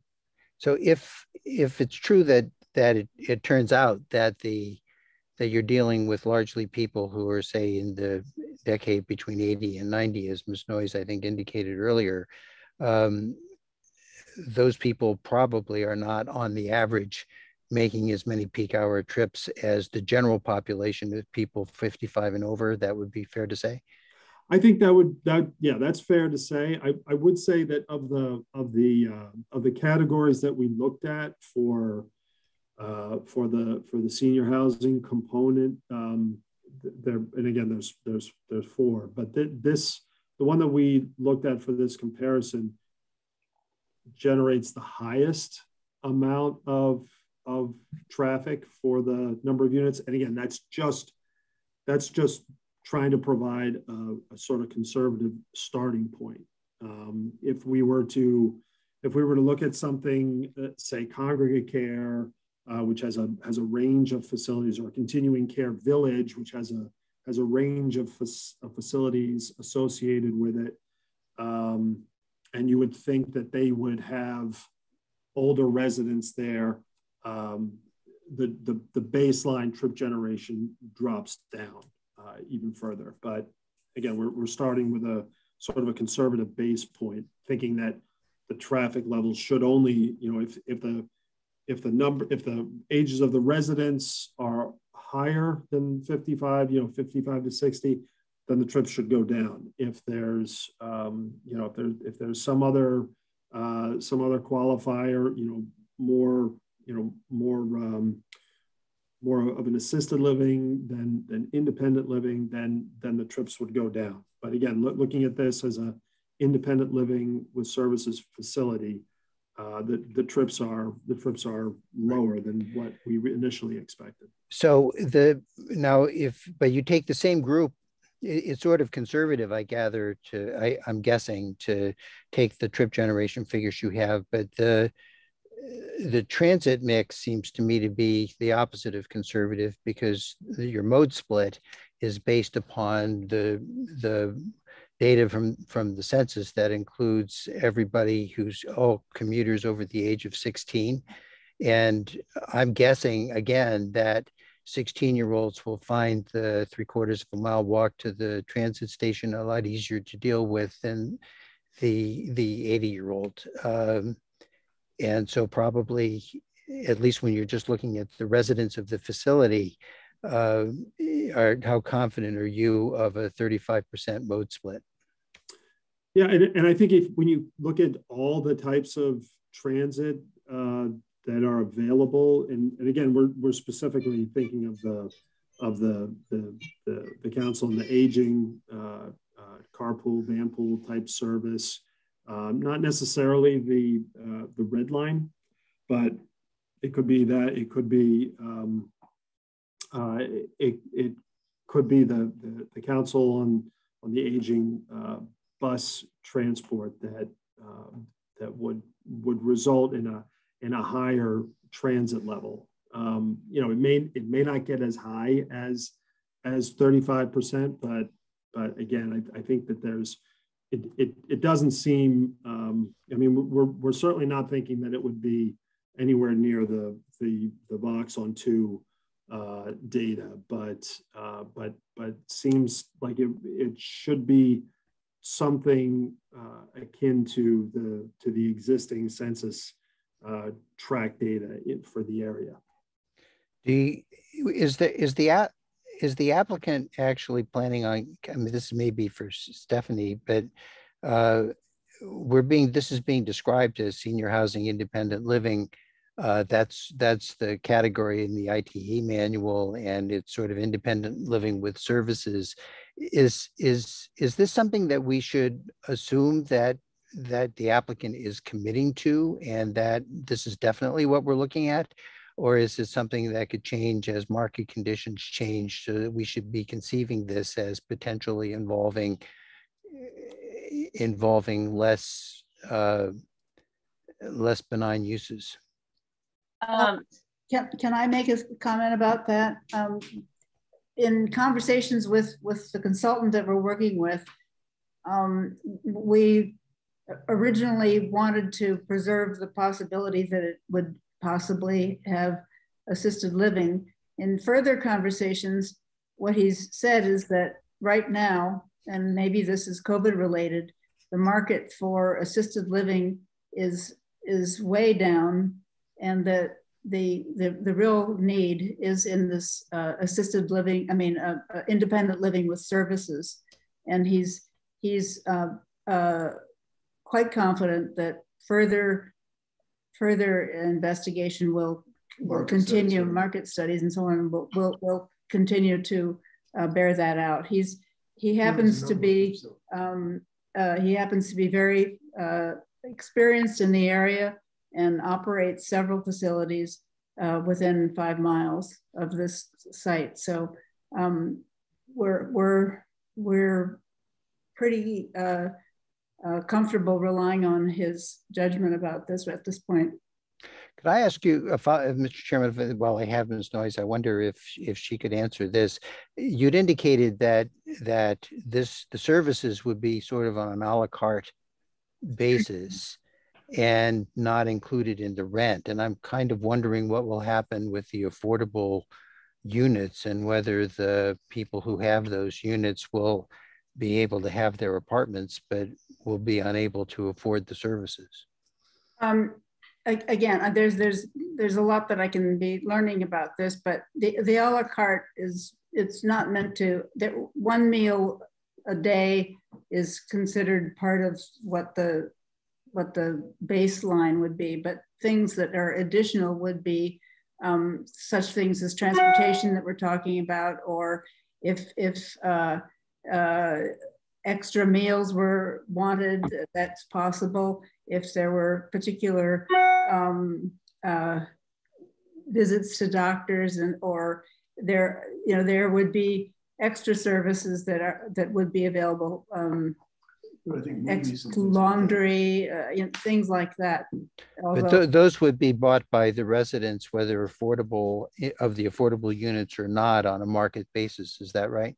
That's correct. But it, so, right, there would be there would be um, sort of a concierge capacity, but but people who are in the affordable category would have uh, a, a, baseline of, of, of, services that that uh, would be still uh, meals and and and um, you know access to to health care and stuff like that. Could you could you remind me what the definition of affordability is for ownership units? I've I've now forgotten. Yeah, Stephanie can answer that one. um, Mr. Hanley, I'm sorry. The you want to know what the definition of affordability, affordability is for the ownership units?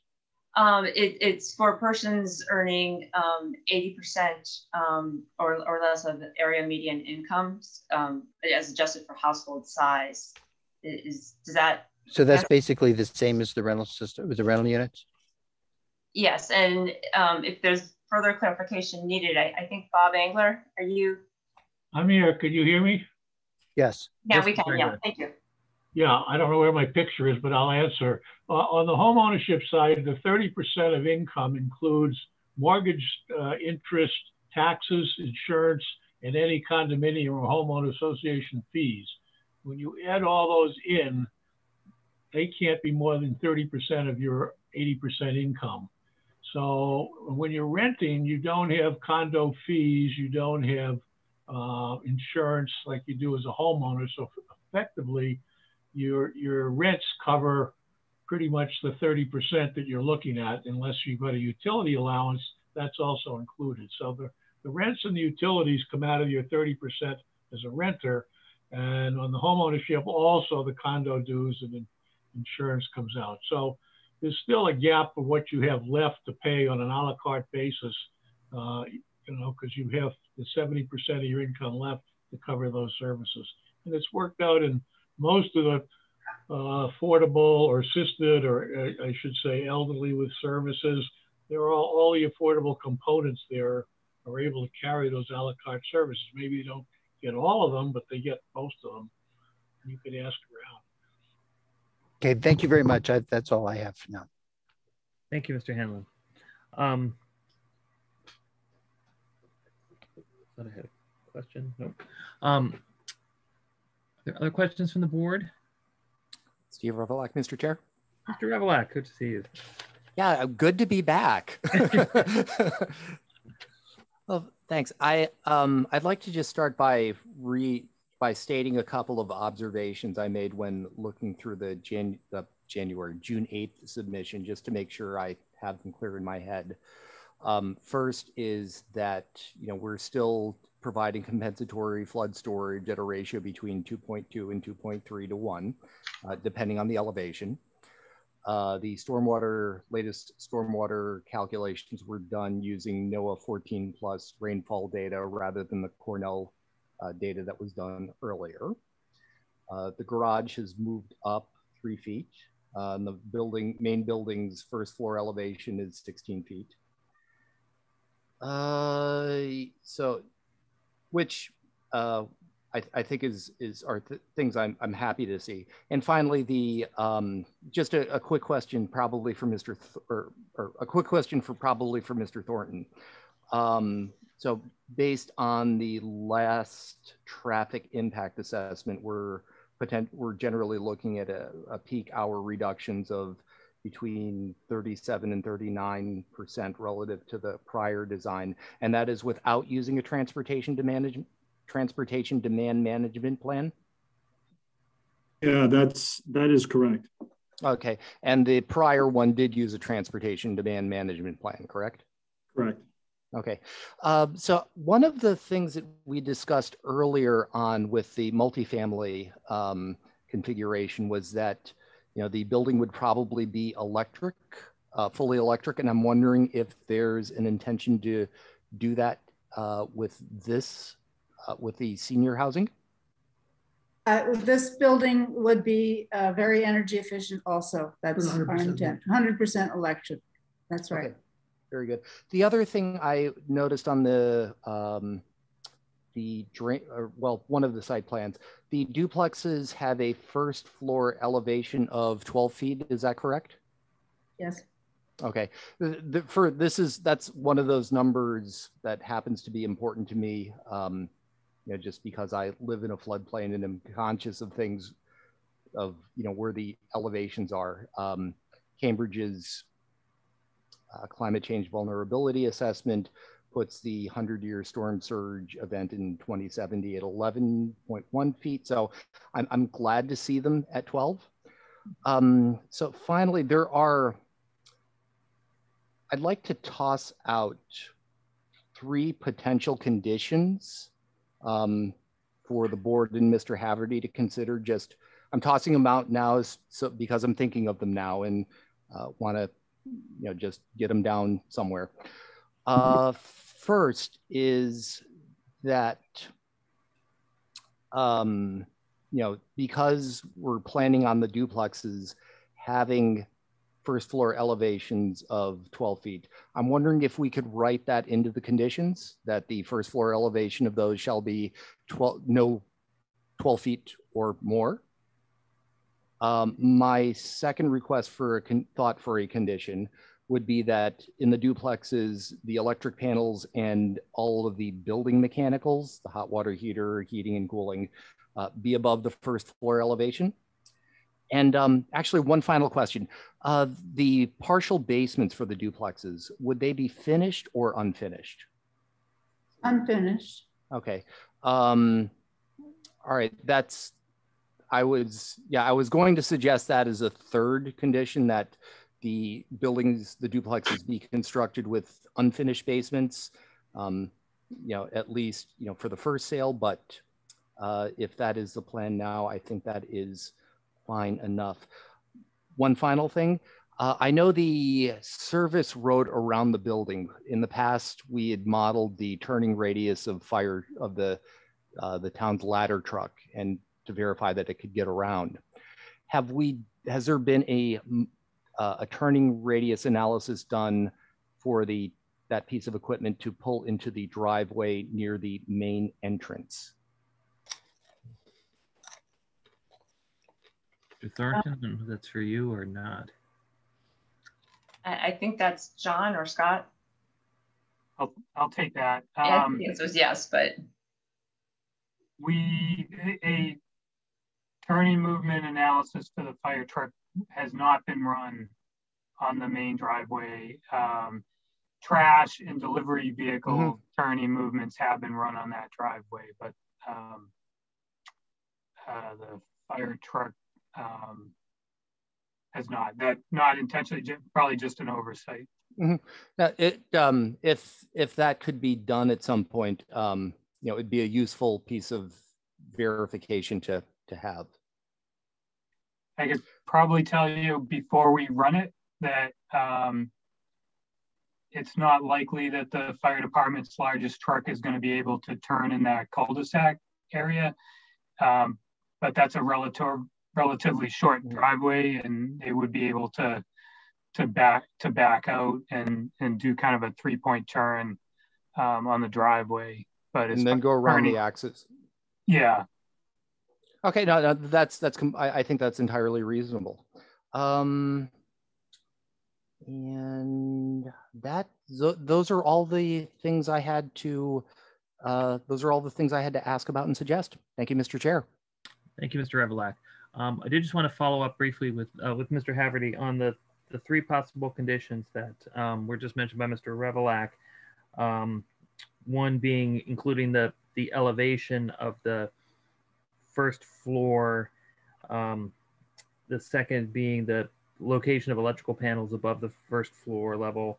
And the third that the basement's being left unfinished. Are those kinds of things that we can include in conditions? Mr. Chairman, certainly the, the first condition um, is consistent with the plans that the applicant has submitted. So you, you obviously can note that in your decision and include it as a condition.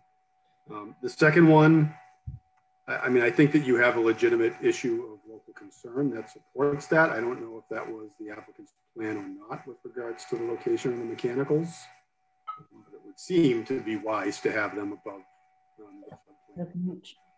um, with regard to number three, I think that that, you know, is something we probably need more feedback from the applicant on. If they're planning on finishing those basements, then I think, you know, we need to get some information as to how they intend to prevent flooding um, within those basements.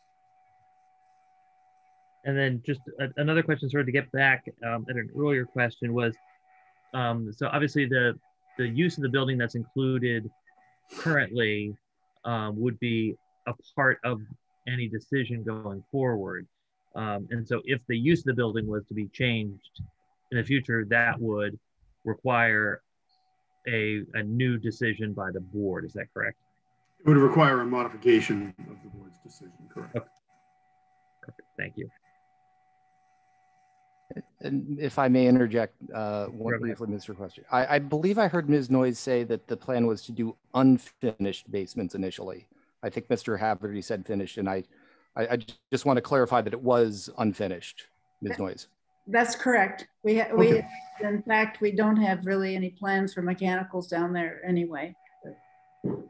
Okay, wonderful. Thank you. So, so that it seems like all three conditions would be appropriate and consistent with the plans that the applicant has submitted. Perfect. Thank you. Mr. Mills. yes, uh, I'm not sure who would take this question, but I find the drainage plan from the duplexes interesting in that all their uh, drainage would be routed to the infiltration system on what would be then another piece of property. I mean, if this was all going to re remain under the control of one entity, it would be not an issue.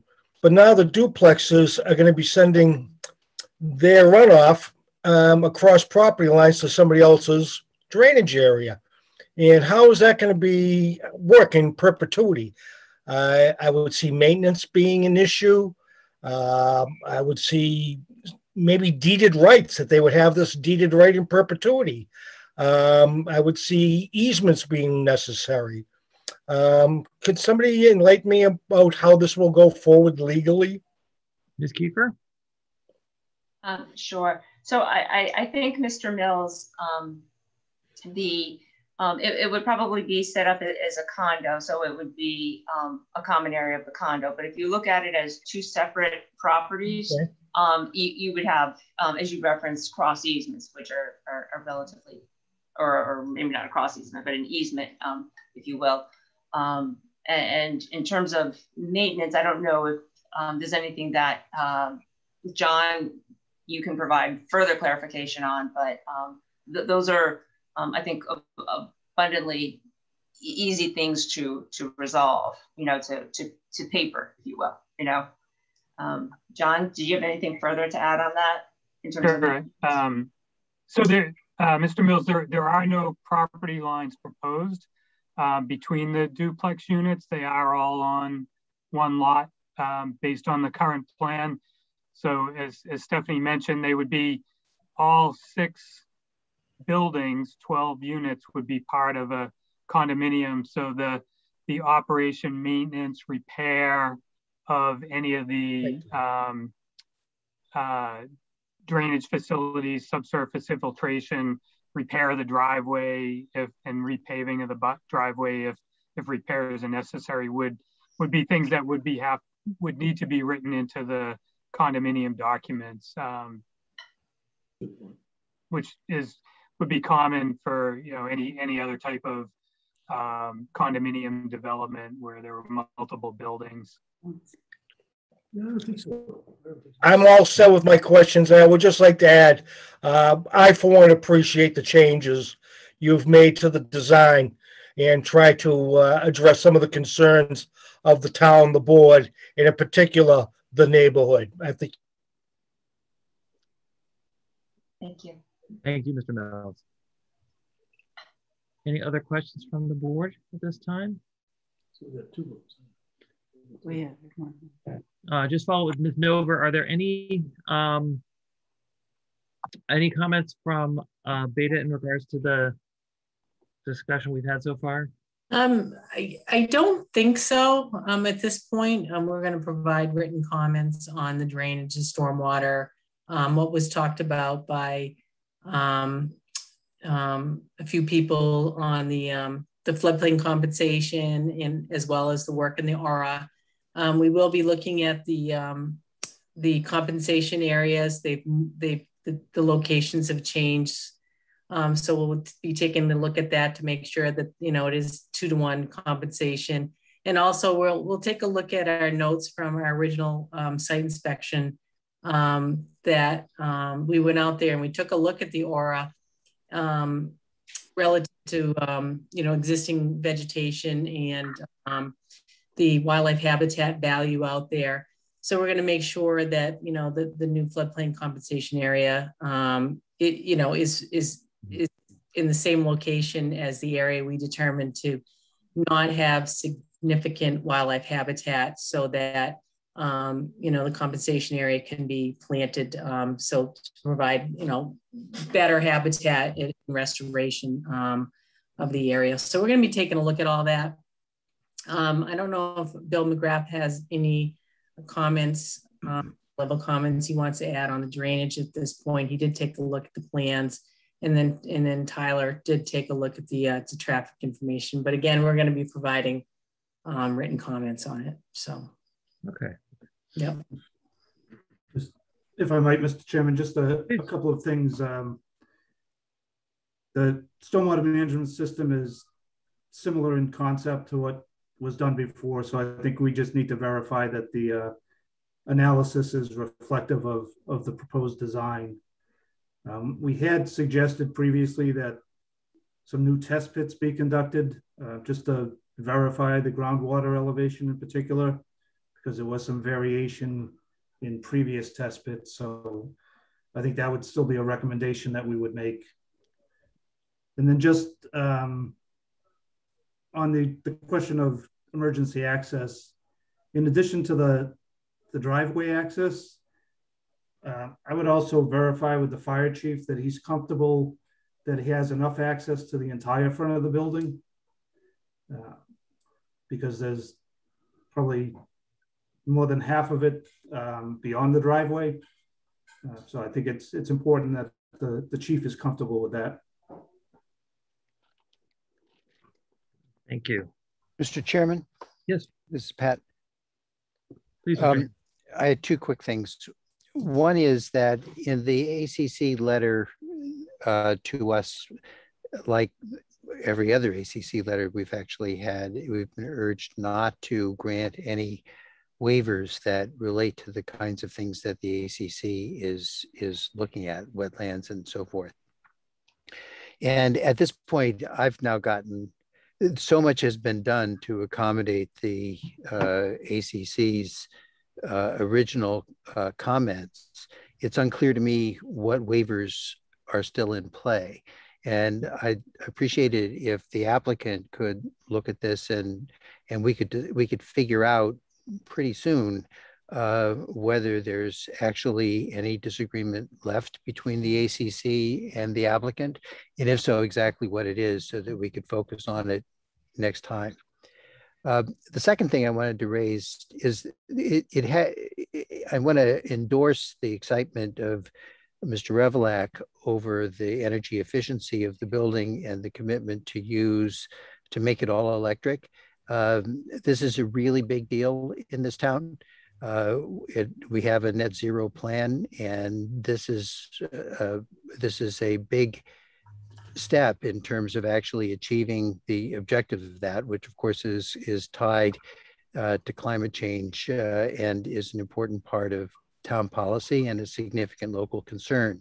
And I know this has been in the in the proposal for quite some time, um, and it never has really uh, gotten the attention that it deserves. And I just want to do a shout out that not every applicant does this, and not every Anybody who is building a new building does this. This is a, a pretty good commitment on the part of the applicant, and they should be uh, recognized uh, provi for providing it.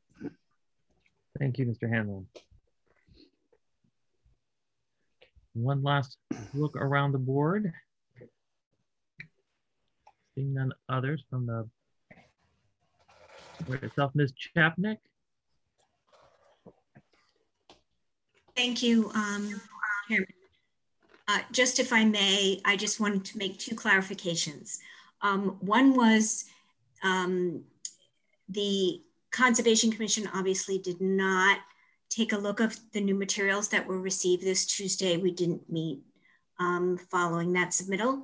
Um, we do heavily rely on Beta's review um, to assist us in our evaluation and, and generally agree with them. Um, so we will await their review um, and, and uh, may have further comments or not, depending on that.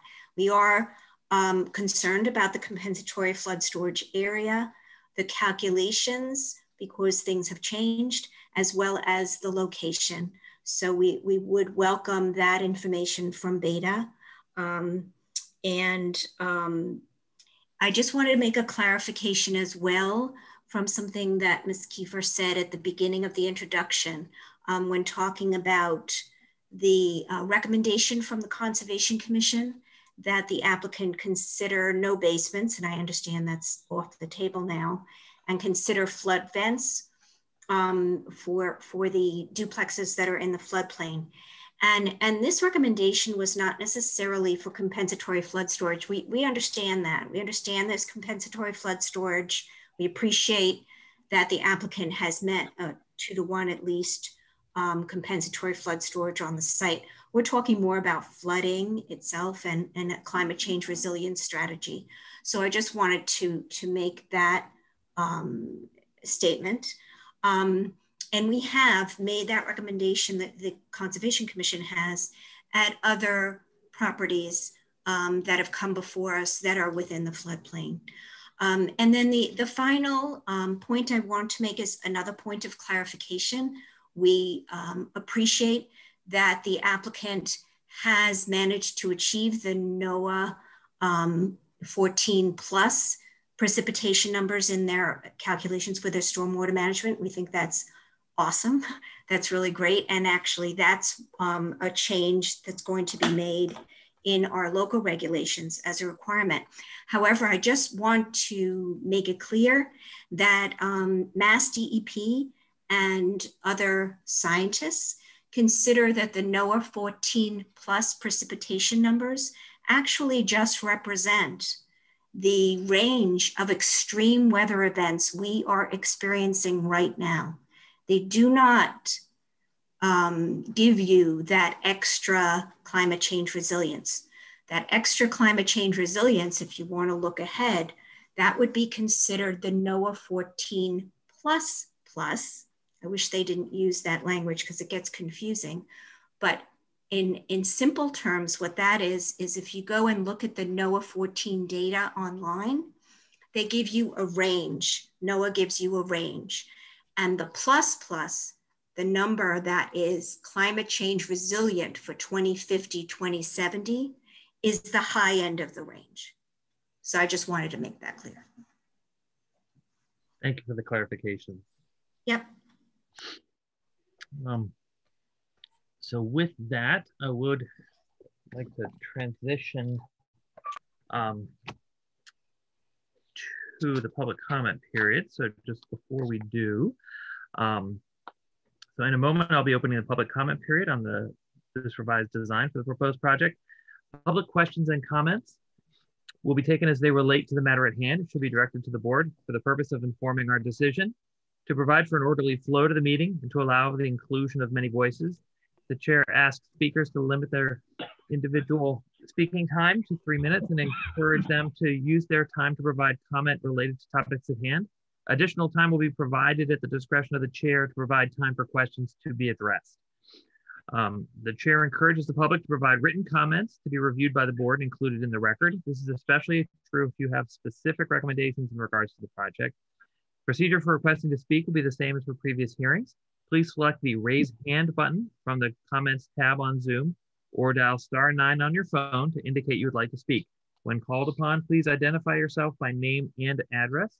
You'll be given time for your questions and comments. All questions are to be addressed through the chair. Please remember to speak clearly and in a way that helps us generate accurate minutes. Once all public questions and comments have been addressed or the time allocated by the chair is ended, the public comment period will be closed. The board and staff will do our very best to show documents being discussed. If you'd like a specific document to be pulled up during your comment, please ask us to do so. So with that, um, the first name I have on the speakers list is uh, Matt McKinnon. Hi, good evening. My name is Matt McKinnon. I live at 9 Little John Street in Arlington. Thank you. Please proceed. So I have a personal statement I'd like to read to you. Um, I want to make it abundantly clear. I agree with everyone who has been fighting against development on this land for so long. Uh, the Arlington Conservation Commission, the Arlington Land Trust, the Arlington Select Board, our state representative, Dave Rogers, and our fourth Middlesex District State Senator, Cindy Friedman, have all opposed development on this land. However, we're still here fighting, still putting up with the complete and utter lack of stewardship of this land. And it seems that all pleas to not build and all pleas to take care of the land have fallen on deaf ears. If this fight fails us I have one more plea. No densely packed housing units, no parking garages, and no businesses in our residential neighborhood, please. I would still welcome our new neighbors living in the duplexes along Dorothy Road. This would be a reasonable addition to our neighborhood, provided that the land is adequately cleaned up prior to any construction. That is all I have to say. Thank you very much for letting me speak tonight. Thank you, Mr. McKinnon. Uh, Mr. Urowitz? Hello, can you hear me? We can, sir. Good. My name is John Urowitz. I live at 47 March Street. I'm a 53 year resident of the town, and I go back many years opposing any and all development on this Mugar property. We've won every time. 2016, 17, and 18, going through the meetings at the town hall, the library, the Hardy School. We've always had meetings where we've been very energetic against the development. The whole neighborhood, Kelwyn Manor, all up and down Lake Street. No one wants this. The select board doesn't want it. Something happened between 2019 and 2021 all we're talking about now is they're going to get one meal. We've got porous pavement. We're going to cut a couple of feet off the roof. Whatever happened to our against opposition to development? Why are we still talking buildings? We want no buildings. I firmly oppose any development for the negativity it provides to the neighborhood. It's an invasion in our neighborhood. You're going to change our groundwater. Those infiltration setups are going to just push the water through the ground further. The roof drains are going to put water out into the back. It's going to be insect borne. The fire department can't get in there. The fire department can't get down our neighborhoods fast enough. We're going to be getting three years of construction with the invasion of contractor trucks, big concrete trucks, bulldozers. We're going to lose our green space, animals. It's just, there's nothing good that can be said about this. I do not know why the zoning board is considering building all this stuff in any in any size, in any quantity of, of units or people. I, I, I want to go on the record as being uh, very against any kind of development on the site, and I wish the ZBA would shoot this down. Thank you for your time. I appreciate this. Thank you, sir. Uh, next on the list um, is Keith Lucas. Good evening, Chairman Klein. Heather Keith Lucas of 10 Mott Street. Thank you for providing the time for public comment tonight.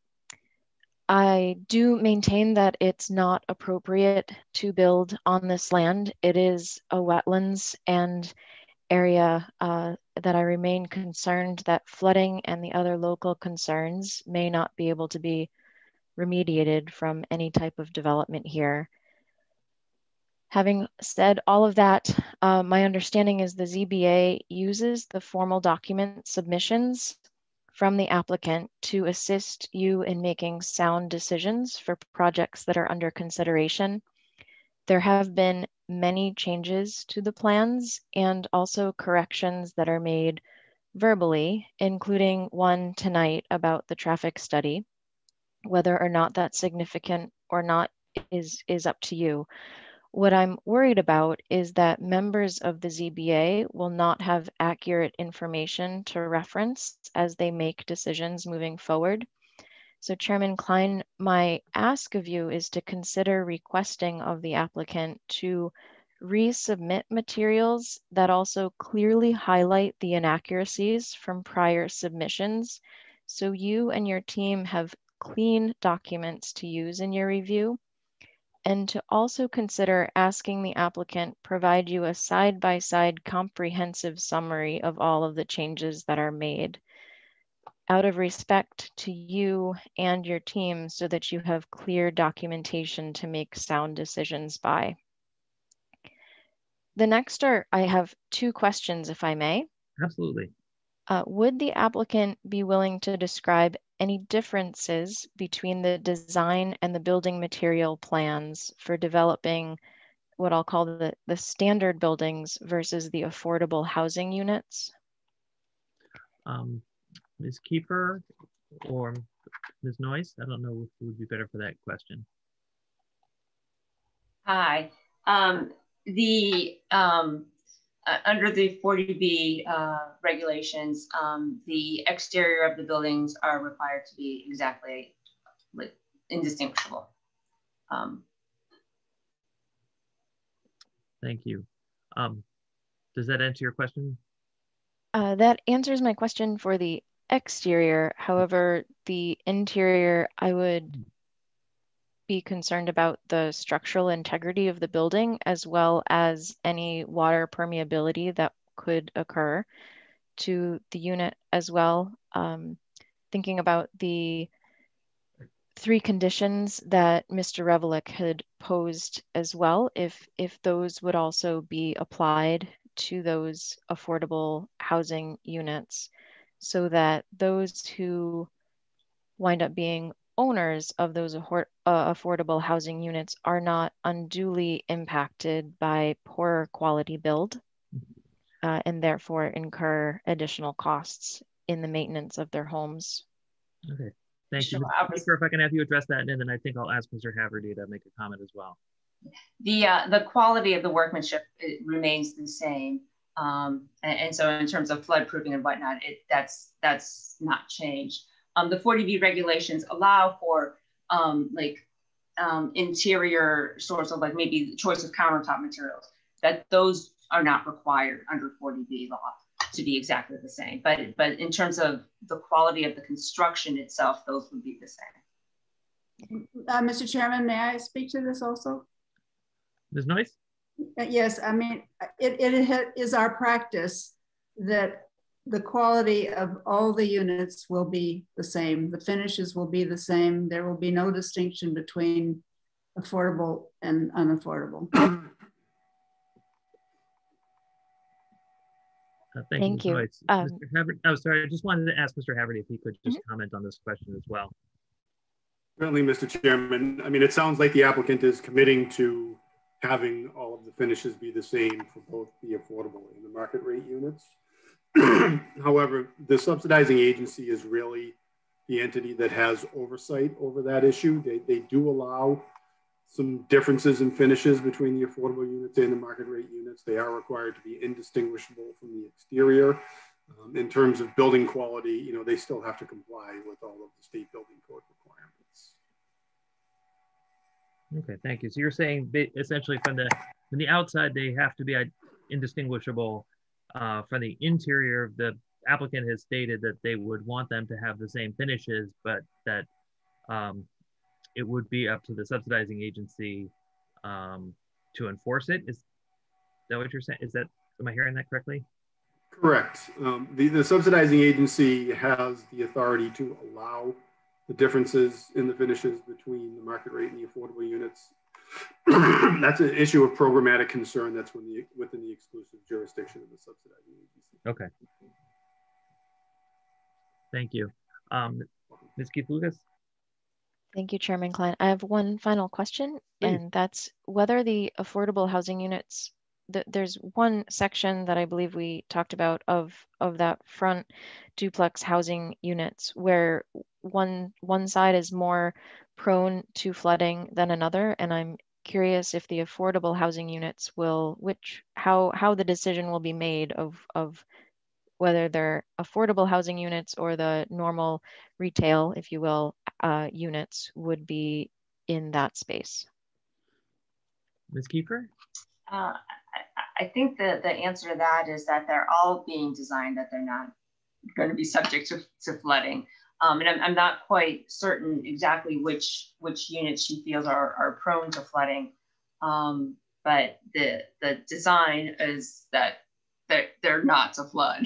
Mhm. Well, I Um, think that the, the, it had been identified in the flood maps that the, the units that are toward the eastern end um, are in an extension of the existing floodplain. Is that correct? Oh, th- yes, there is that that finger that goes through the, the eastern two buildings. That is correct. And so I think the question is, so those two sites, you know, given the existing conditions, would could be considered more prone prone to flooding because of the the existing conditions of the site. And so I think the the question that's being asked is, um, how how is it determined which units become the affordable units? And um, you know, I think the concern is that those would be the ones selected for that purpose. So there will be 25% of the of the duplex units are, are going to be affordable. So there will there will be an affordable unit in there. I, we can say that. Um, the affordable units are generally interspersed throughout. Um, and with respect to um, the, the those two easternmost being within the um, the, the finger of the floodplain, I think maybe um, John, if you want to add clarification as to the flood proofing, if you will, or Is Ambrose still on? Ambrose went off, but he. He is still Um, on the Yeah, call. No, I'm, I'm still here, yes. Can you, can you respond to that? Well, I think it's a floodplain issue. It's not a groundwater issue. Right. That's correct. So, so I, this is John Hession. I can I can speak to that. So today, that area is floodplain. That little finger. It's very shallow, less than a foot, generally less than a foot deep of floodplain. But our proposal is to fill that. That's part of our floodplain impact. So we're going to remove that area from being floodplain. We're going to take that the volume of flood storage that will be lost and replicated at a two to one ratio uh, a little further to the south. So we're essentially removing the floodplain, relocating it, and building those two easternmost duplex buildings on similar high ground to the rest of the frontage along Dorothy Road.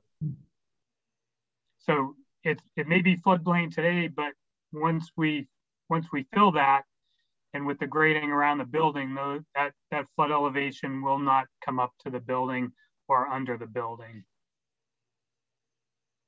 Great. Thank you, Mr. Heston. You're welcome. Uh, Ms. Keith Lucas. Thank you, Chairman Klein. I appreciate your assistance with the clarification of my question. I have no further comments at this time. I defer to my neighbors. Thank you so much tonight. Thank you. Appreciate that. Um, Ms. Ide or Mr. Ide? Hello, this is, uh, thank you, Mr. Chairman. This is Nicholas Ide. I live at 152 Lake Street, which is the corner of Lake and Littlejohn.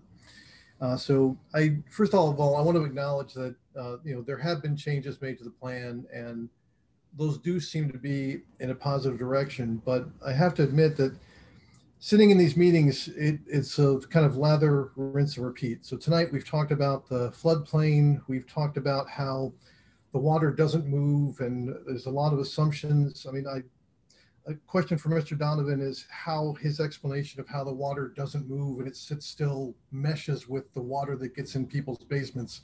I, I don't understand that, but that's, I'm not a geologist or a hydrologist or any of that. But we've talked about the floodplains. We talked about the fire truck, whether the fire truck can actually get where it needs to and turn and access where it needs to access. We talked about the ITE traffic study and whether that is actually valid and meshes with what actually happens in the neighborhood.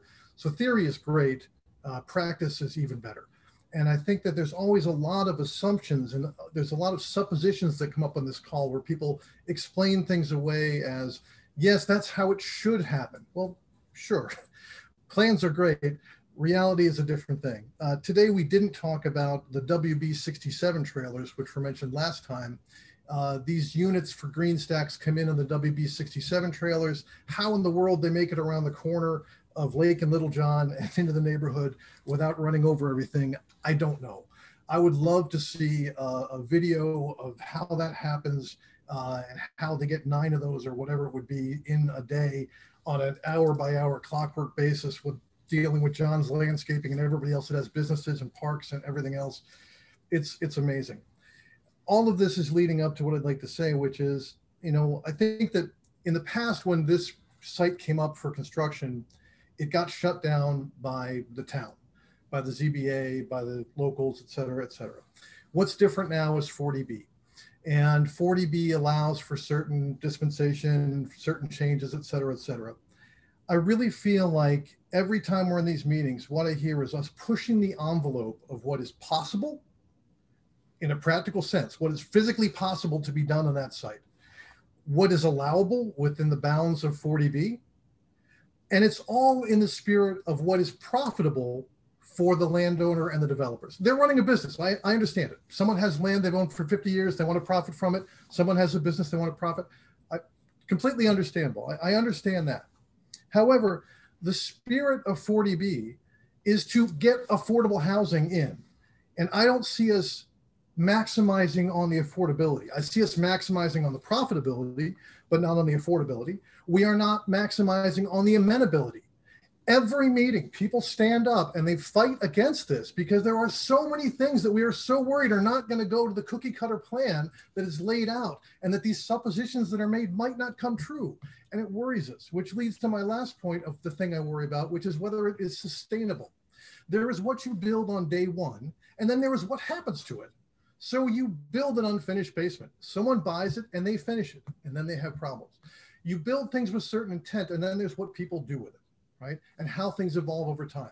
I heard someone say about that we would micromanage the trucks that come in and out. So I don't know if someone is going to be on a contract in perpetuity to make sure that no large trucks come through the neighborhood to deliver anything to the to the, the housing unit. So I, I find it very troubling. Uh, as always, and I, have written letters to this effect, and, and I agree with the things that my neighbors say. I very much appreciate the things that Mr. Hanlon says and, and some of the other speakers, uh, uh whose name I can't remember at the moment, but uh, uh there are many people on the on the ZBA who are uh, very proactive and say things that, that, that we as, as, neighbors wish we would have said, and we're so happy that you say them, and we appreciate that. And to be honest, you know, if, if this weren't a 40B project, it would probably just be a bunch of townhomes, like Mr. McKinnon said. And there would be no complaint with that. They're townhomes, it fits in the neighborhood, but that's not profitable. And that's why no one wants to build that. And so we are pushing the envelope of what is possible. We are pushing the envelope of what is allowable simply for the sake of profitability, not for the sake of the affordable housing and more affordable units for people, not for the sake of what the community is amenable to, and not for the sake necessarily of what is sustainable. I, I don't see how it's all going to be sustainable. Hopefully, they're going to hire somebody to clean up the wetlands to keep them nice. I've heard I've heard someone on this meeting before explain how many tens of thousands or hundreds of thousands of dollars it takes per year to keep those wetlands in proper condition, which has not been done for 40 or 50 years. I would love to see that done, but how is that sustainable? Is that part of the sustainable plan? That is all I have to say. Thank you very much, Mr. Chairman. Thank you. Um, so just just a um, wanted to just follow up on a couple of those questions. Um, in regards to the the truck trailers, I I believe Mr. Thornton, you had provided have you provided diagrams on those? I've, yes, I, yes, we did provide those diagrams, Mr. Chairman. Okay. So hopefully, so those should be available on our on our website to con, to confirm those. Um, and then um, so the, the the question about the sort of the, the maintenance of the remainder of the property. So this is the, this is an ongoing um, an ongoing concern that the that we're working on. So currently there's an effort between the town um, to and the the applicant and the board to discuss um, specifically how to address this in conditions um, in a way that is enforceable uh, through and beyond the 40B process. Um, it is a little, it's a little bit tricky. It's very unusual, I think, in a lot of ways. Um, but if I could ask uh, Mr. Haverty just to, to speak to this uh, briefly. Paul, sorry to catch you off guard here. Yeah, I'm sorry, Mr. Chairman. so you wanted me to speak to the issue? Um, just, a, just a little bit about so the the board and the town and the applicant have been discussing how to address um, the remaining portion of the site beyond the uplands that's being developed. Um, and I sort of commented that it's it's it's tricky because it's not part of a normal 40B process to do this kind of um, you know wetlands uh, doing the testing and doing the you know um, doing work to try to restore the site and some of the you know the other outstanding issues on the on that portion of the property that are very unusual in a lot of these cases. I just wanted to see if you had anything specific in regards to um, sort of how the the board can work this into the um, into the decision in a way that you know addresses the concerns that have been raised locally, but also is enforceable moving forward. Sure, and, and so as I think we've discussed previously, um, you know, the board is limited in the types of conditions that it can impose in a comprehensive permit decision to the types of conditions that other boards would be allowed to impose um, under local rules and requirements under local permitting processes. Because the Board of Appeals is acting as all other local boards as part of the comprehensive permit process.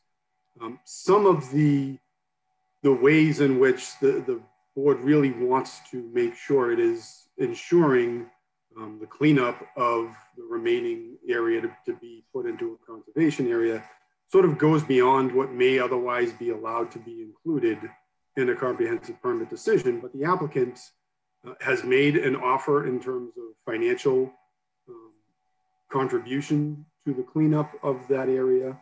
Um, and they have also made commitments with regards to what they're willing to do in terms of getting that area.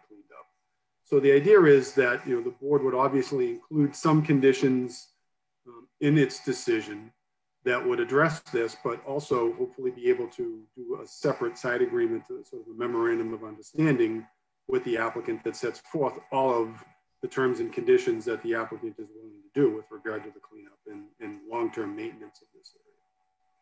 So it's sort of a belt and suspenders approach. Um, it does require the, the cooperation of the applicant. And is the is the board able to specifically um, condition, you know, various aspects of the construction project. So, in, like in terms of issuance of, of permits and things like that, are we allowed to condition things that would be covered by a memorandum of understanding as applying to uh, the the main process of the of the permit?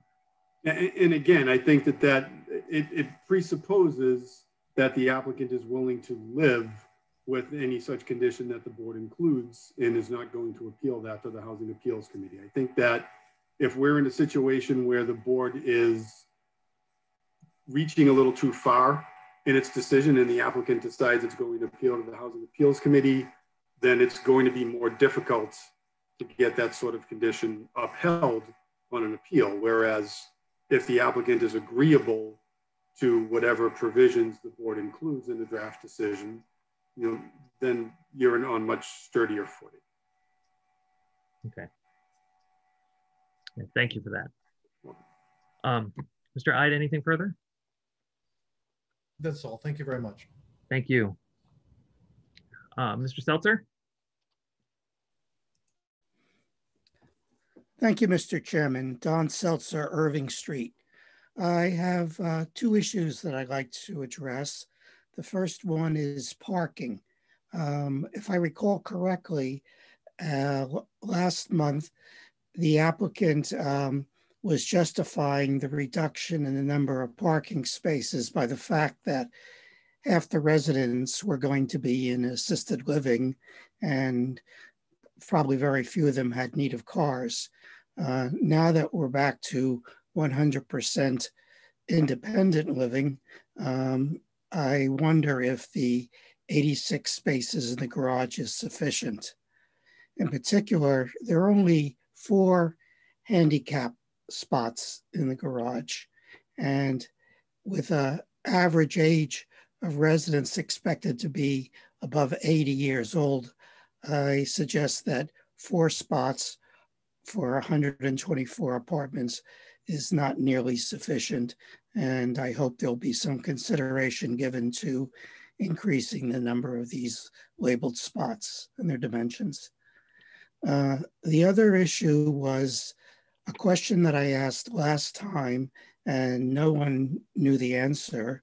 Um, that is that our bylaws require the posting of a bond to protect against to protect against flooding problems that arise in the first five years.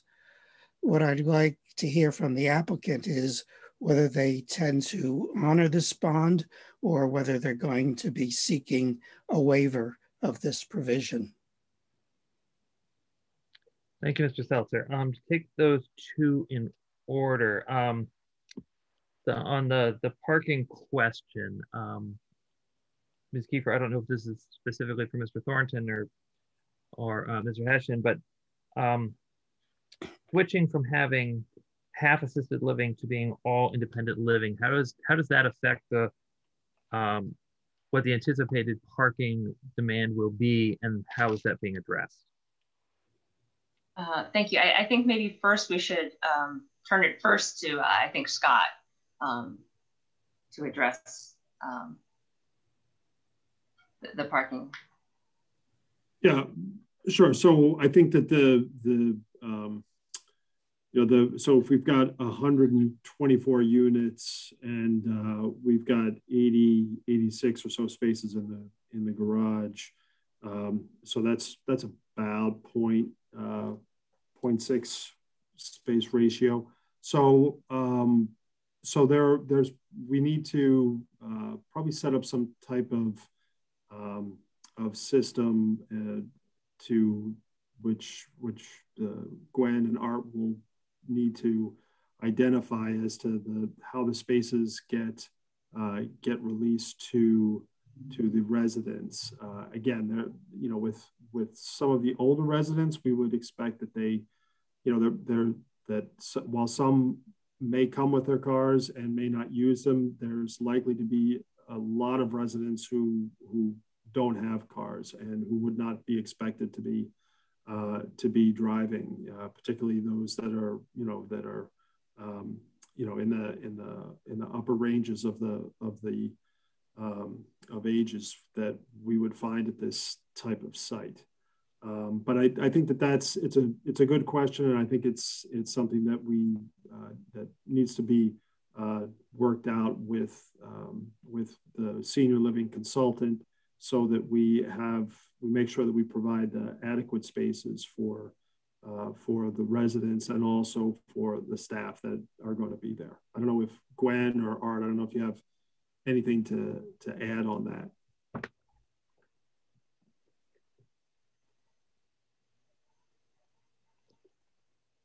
Uh, yeah. Oh, there we are. I guess that was beautiful. So talking to our consultant about uh, the fact that many, many of the, of the tenants, the clients in this kind of facility, they, they do bring their car along and then not use it. So to discourage that and taking up a, a space, uh, one of the things they sometimes do, I guess, is to start charging uh, a fee for holding a parking space. And uh, obviously that encourages somebody to think about whether, if I'm not using a car, why indeed am I uh, keeping one there? So that's just uh, one one thing and uh, to keep in mind. But also, one of the services would be um, having uh, a jitney right. service uh, be be the way in which taking several people to go shopping and so on at the same time is part of what is anticipated as a service. Thank you. Um, and then the, the, the, question about the ratio of um, accessible spaces, I, I, know that I don't believe the either the, the state architectural access board code or the the federal ADA have different ratios depending on on age groups. Um, but I think that would be something else to discuss with with your consultant as to whether that you know that is an appropriate um, distribution of spaces. Um, and then, as, as was discussed previously, the expectation that there would be between 10 and 20 um, employees operating on site. Um, does that eat into the, the 84 to 86 spaces that are planned for residents, leaving, you know, only, you know, 44, 46 spaces that would be available for residents? Yeah, and, and Mr. Chairman, I'll, I'll take that. I, I think it, you know, we're, we're, we're expecting a certain range of, of, um, of, of staff there. Um, but we would, we would not expect to have, um, uh, you know, 20 would be at the, at the upper, upper range. And that's sort of a, a full-time equivalent. So, so we would expect, you know, over, over a 24 hour period, there may be as many as 20 employees that have that have come to the site and and gone. I, they wouldn't be there uh, for the for the entire day and during during the same hours. Uh, but but absolutely, it, it is. You know, we we we do have to make some space for those um, for for staff, and and maybe it's maybe it's 10 spaces, maybe it's 15 spaces uh, that have to be made available. And and I mean, the, it would it would take away from the total. But mm-hmm. again, I think as, as Gwen mentioned, the you know the, the availability of the of the type of service, the van pool service, the council on aging uh, demand service. I think that reduces the, um, the the propensity or the or the requirement for for residents to have cars on site. And we would, I, I think we would encourage uh, uh, people to not uh, not bring their cars to the site because it's just you know it, the, the, the, vehicles aren't going to get used and, and there's there's no reason for them to to come. But it, it's absolutely something that we need to put some more thought into. Is there specific differentiation between spaces that would be allocated to the residents to the employees and to the guests yeah, I, I think that the, the surface spaces would be mostly for, uh, for guests. Uh, there's still, I believe there's still 10 spaces that are, that are proposed at the surface and, um, and other spaces, you know, there'd be staff spaces and, um, and the resident spaces in the garage. Mr. Chairman, could I add one other? Klipfel, please. Other, yeah, thank you. Uh, we, uh, as I think most of us may remember, we had parking spaces um, at the at the west end, which has now become gardens and kind of a uh, an area to be outside, enjoyed by the by the residents and that sort of thing. And I think there were we, we felt like we had enough parking. Uh, but as Scott said, we can go back and take another look at this. But it, it is a function of uh, of trying to pre preserve that public space. Uh, what all do we have there? We had gardens, sort of a croquet court, and some things like that. Flower gardens, vegetable garden, lawn. And I, you know, we'd like to keep those for obvious reasons. But uh, if they're required for parking, and we feel that, uh, so there is kind of a backup. You know, even you know, if in year five in the project you, you say, "Oh my God, we need more parking," uh, there is there is a way to to back into that. Okay. Mr. Chairman. Mr. Hanlon. Pat. Um, I just want to emphasize the special problem of handicap parking. Having, as Mr. Seltzer points out, uh, four handicap spaces for uh, 124 octogenarians is probably not enough. Um, and I just want to encourage us to look specifically at that and and whether we have spaces of the right kind. Um, it also seems to me that this is the first I've actually heard of the jitney service. Uh, there had been mention earlier of services provided by the Council on Aging, um, but you know, this is a the parking is a problem. It's a it's a broad it's a problem with lots of facets to it, um, and I think that that I just encourage the applicant to provide some information to the board on what is what they're proposing as part of the solution to that problem. Um, I I think there may have been a reference that a jitney service may be one of the things that that is one of the services provided here, uh, and I may have just overlooked the importance of that. But really, you know, all of this needs to get to get summed up so that we understand what all the facets of the solution are when we think about what the local need is. Absolutely. Thank you, Mr. Hanlon. Um, and to get to Mr. Seltzer's second question, which was about the uh, the posting of the bond, Ms. Um, Ms. Keeper, I can't recall if that's on if that's addressed in your list of waivers or not. Um, so I'm, I'm not entirely certain what Mr. Seltzer, what, what bond he is referencing. Um, however, um, relative to um, a, a, local bylaw relative to um, work in public ways for construction or, or whatnot, uh, we had asked for a certain waiver with the exception of bond. So I'm not entirely certain what he, which bond he is referencing. So if, if there, if it's a different bonding thing that he's thinking of, and and sometimes people get confused with, um, or or they they cross reference kind of like bonds if you're doing like subdivision roadways, which wouldn't be applicable here. So I'm not entirely certain which or what specifically he's talking to for a bonding requirement, but um, for the work within public ways that there's a, a bond requirement. We had not sought a waiver for, for the bonding requirement. I guess if I could just raise the question with Ms. Chapnick, um, is there a bond that is a part of the, the conservation bylaw that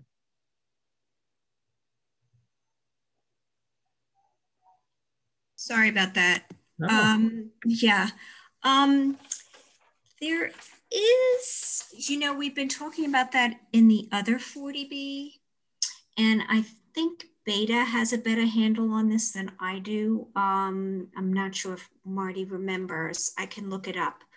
But there is one in the local bylaw, um, and I'm not sure if the applicant has asked for a waiver of that because to tell you the truth, I, I've lost track of which waivers or what. Um, Marty, do you do you yes. remember that? I, I, I do know that the other 40B has asked for the waiver of that, but I don't recall that they've asked for a waiver of the bond in this one. Yeah, so I don't remember either. Um, yeah.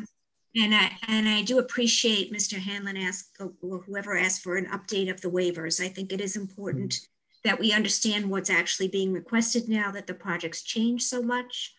Um, certain waivers may not be necessary. However, I, I will state that uh, the, the Conservation Commission is very reluctant to waive that bond um, because that bond is kind of insurance on making sure that the um, the mediation and, and you know, the wetland mitigation is done correctly. So. Thank you. Uh, Mr. Mr. Chairman, um, I was fairly specific last month when I asked this question. Um, I did specify specifically Title V, Article 8, Section 11, uh, which seems to apply to this project. And I was assured at that time that they would look into it and have a response um, to that. So I'm disappointed that uh, that it hasn't been looked into. And as Ms. Chapnick said, I think this is something that's really important um, since flooding is a major issue and we're being assured that it's being handled properly. And this, the bond is sort of putting your money where your mouth is, uh, uh, you know, guaranteeing that you are coming up with a good solution. And if you don't, and in a couple of years there are flooding problems, um, you're expected to um, take care of them. Mr. Chairman. Thank you, Mr. Seltzer. Uh, Ms. Kiefer? Um, hi, um, thank you. And um, I, I, think at the last meeting, I, I, didn't have the waiver list with me, um, but that provision was requested a, a waiver from that um, within the previously submitted waiver list. And as a couple of commenters have reference as well as the suggestion by Mr. Hanlon, um, you're absolutely right. And we are intending to update the waiver list. Um, I think that with the presentation last month with the revised concept, obviously it was too premature. And then um, the updates today or from Tuesday that were submitted that we are discussing this evening, I think we're in a good position now to um, get that update to the board um, to reflect that. And, and I believe that the reference was was dealing with the um, with the uh, um, the local wetlands bylaw and a, and a waiver underneath that. Um, and, and again, this uh, it, it, it, has been requested, um, and, you know, under 40B, um, th there shouldn't be a distinction drawn between affordable housing projects versus um, uh, non-affordable housing projects. So if it's a um, if it's a if it's a common practice that the commission imposes um, for every development, then um, you know, they may not wish to waive it at this time or may not wish to encourage the board to waive it. Um, but um, it, it, it, has been requested. And uh, I think that responds to the okay. comment. Thank you. Um, is there anything further, Mr. Seltzer? No, thank you. Those are the only two issues that I wanted to raise. Okay, thank you. Mr. Mr. Chairman? Yes. Point of uh, information. Point of information. One question. I was going to say uh, I'm wondering the next person on the list. Oh well, then I, I'll stand mute. Thank you, sir. Please, please proceed. Oh, okay. Uh, Mr. Chairman, this is Steve Moore. Uh, I live on Piedmont Street. I was unable to join uh, with Zoom tonight, and I'm not very familiar with how the um, the telephone raising of hand works. So I'm glad that that worked out. Um, yes, I have a, a couple of questions. Um, first, uh, I wanted to applaud the uh, applicant for including the McPhail organization uh, on their analysis team. I'm familiar with their work and have been um, uh, very uh, um, impressed by, by the thoroughness of their work and the completeness. So I think it's an excellent addition to the team, particularly in this very sensitive area when it comes to groundwater and flood stormwater. Um, my one question for them is, as the excavation is accomplished, if it's discovered that conditions on the site are different than what the analysis currently says it currently is without having done the excavation, is it possible to still change the remediation approaches uh, and the foundation uh, Im implementation to reflect the changing site conditions when the facts on the ground prove to be different than what currently is thought is going to be there? That's the first question. Let me go ahead and ask Mr. Donovan if he can address that question. Yeah, you know, it's a little bit of a hypothetical. Um, I think, you know, like I said earlier on, we anticipate some fill material, some organic soils, and a natural sand and clay deposit beneath that uh, at a depth of probably like six to eight feet below ground surface if that if it turns out, for instance, that the fill is thicker or that the organics are thicker and that the bearing stratum is is deeper, it would basically the foundation system would stay the same. The aggregate piers would become deeper. They would extend deeper into the ground to support the foundation system. So the, the, the, the spread footing foundation system itself would stay the same. It's just the piers would that extend below that would be longer. Okay, uh, uh, Mr. Chairman, uh, uh, an additional question related to that. Um, I'm, I'm more concerned about discoveries, unexpected discoveries about the water table.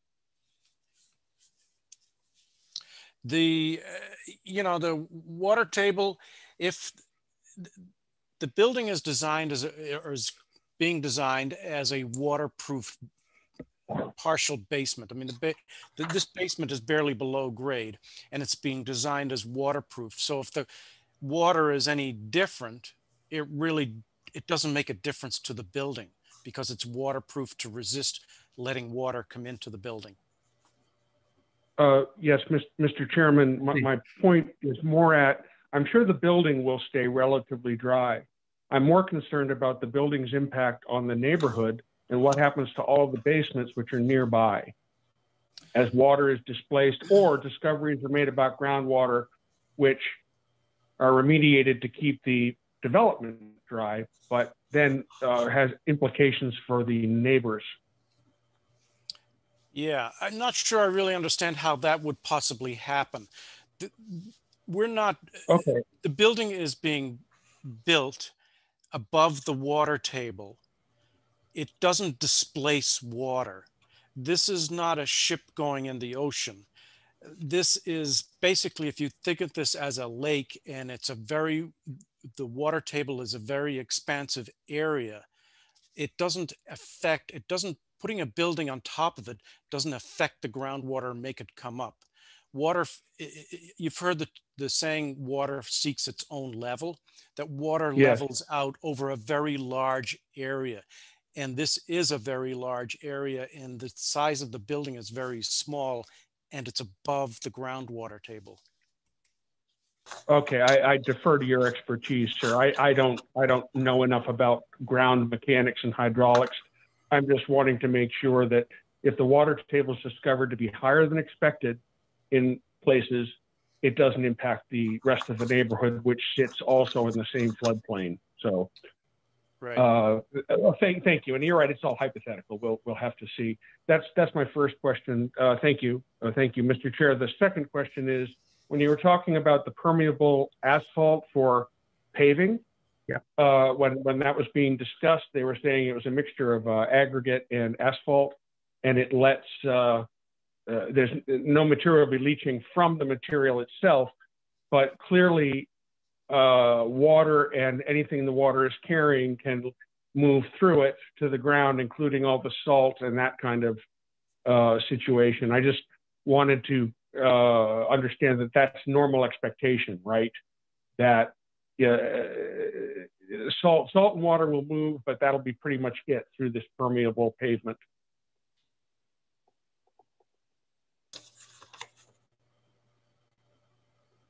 Thank you for Does that. Um, anyone have a? uh, Mr. Hession, is that your expectation as well? Yes, it is. And I, I would actually, you know, um, we would likely include a, a, note on the on the design plans or you know in the operations and maintenance plan. It, it may be in there. I don't have it in front of me, um, but to not not allow the use of salt or sand on the, that portion of the, the walkway that is porous, which is only the portion of the walk the walkway and sidewalk system that runs around the south and east side of the building. Okay, I think that's a that's a smart move, uh, Mr. Chairman, to make sure the porousness of the material doesn't get filled up with sand and, and such. Um, third question is the use of um, you were talking about the use of the space. Currently, we're talking about uh, senior uh, senior uh, facilities plus uh, duplexes. And somebody made the comment, I don't know who it was, about how that if the use was to change, what would be required is a modification to the use plan. I don't know anything about how that works. Could someone fill me into how complicated a modification is to do and how long it takes and and what it would do to the existing plans if a modification was suddenly desired by the applicant? Mr. Haverty, can you address that? Certainly, Mr. Chairman. So a, a, modification is allowed pursuant to 760 CMR 56.0511. Um, and the standard for granting a modification, first the, the board has to make a determination as to whether the proposed modification is either substantial or insubstantial. If it's insubstantial, then it's just deemed approved and you don't have to go any further than that.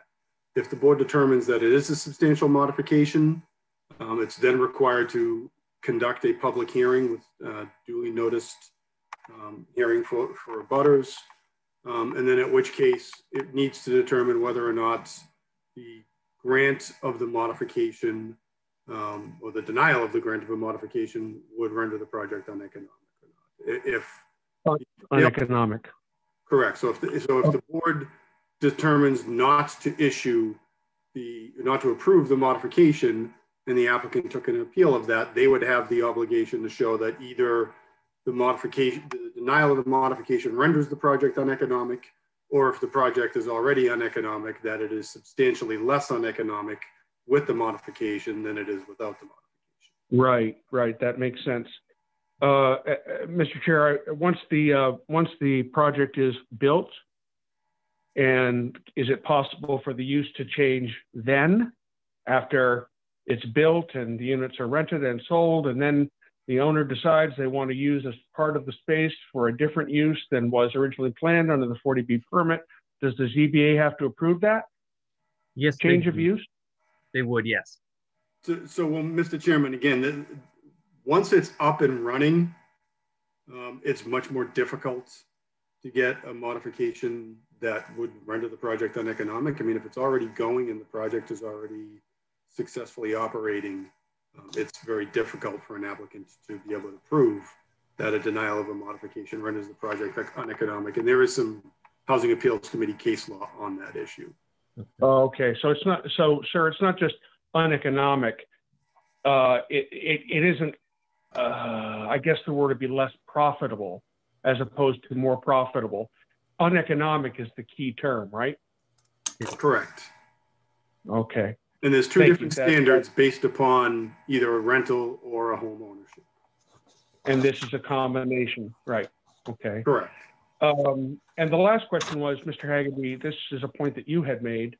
Um, the, the, the point of 40B is to consolidate all of the various boards and commissions that would weigh in on project, uh, project uh, specifications and such. Um, does that include the Board of Selectmen? Does the Board of Selectmen have any role in this project once for once the ZBA approves or let's say the ZBA hypothetically approves it? Does the Board of Selectmen have a role? So to the extent that the, the select board issues local permits, those are subsumed within the comprehensive permit issued by the Board of Okay, so any any issues then, Mr. Chairman, that would come in front of the select board, and thanks for correcting that. I still make the mistake and call them selectmen. That's wrong. Um, the select board uh, is uh, uh, subsumed by the ZBA's decision. So I would have to assume that any discussions related to the dealing with the rest of the parcel and who's going to pay for the cleanup and how, much, you know, whether or not the offer is large enough and correct to sustain that cleanup post the, the development being complete. Mm-hmm. The selectmen usually would weigh in on that. The ZBA is going to weigh in on that. And I assume that conditions that the ZBA would put on or potentially would put on the applicant related to that would be in place of the Board of Selectmen. So I think they would have a relatively wide range of conditions that they therefore could put on related to the maintenance of the property post development. Just to clarify, to the extent that there is a separate memorandum of understanding between the town and the applicants, that's really sort of, although tied into the 40B process, it's it's really outside of the 40B process. So okay, I understand I don't know off, off the top of my head whether that's something that will be executed by the Board of Appeals or the Select Board um, or some combination of both or whether it's the town manager. That That's really not a question I think that, that's capable of being answered at this point.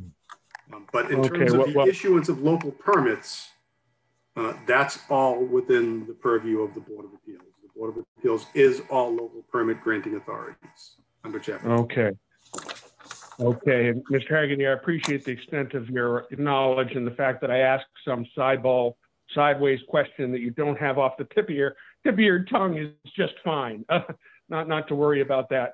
And uh, finally, I want to say uh, I haven't heard the term jitney used in a while, and I'm wondering if that's an official development term.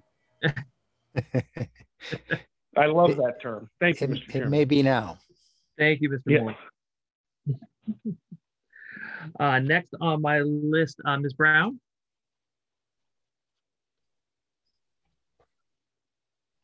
There we go. Hi, Patricia Brown, um, 49 Mary Street.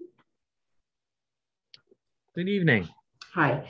Um, couple of questions. We keep talking about partial basements. Are we talking crawl spaces or are we talking like half of a basement with full height?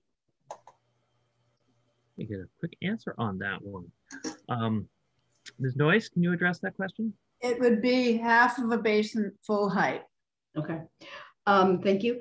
Second question, the more, when I first read this, this proposal, it sounded like it was senior housing with services such as food service, medical services, housekeeping, things like that. Now it's beginning to, from all this presentation, it's beginning to feel like it's just age restricted housing. Can you give me a better sense of what you anticipate?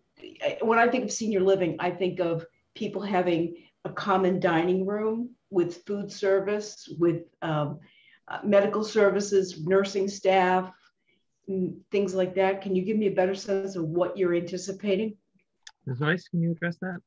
Uh, yes, I, the, the optional services and amenities, this is a draft, you know, we are um, a, a little bit getting ahead of ourselves, but this is what they, our, our colleague has uh, sent as a, as a draft.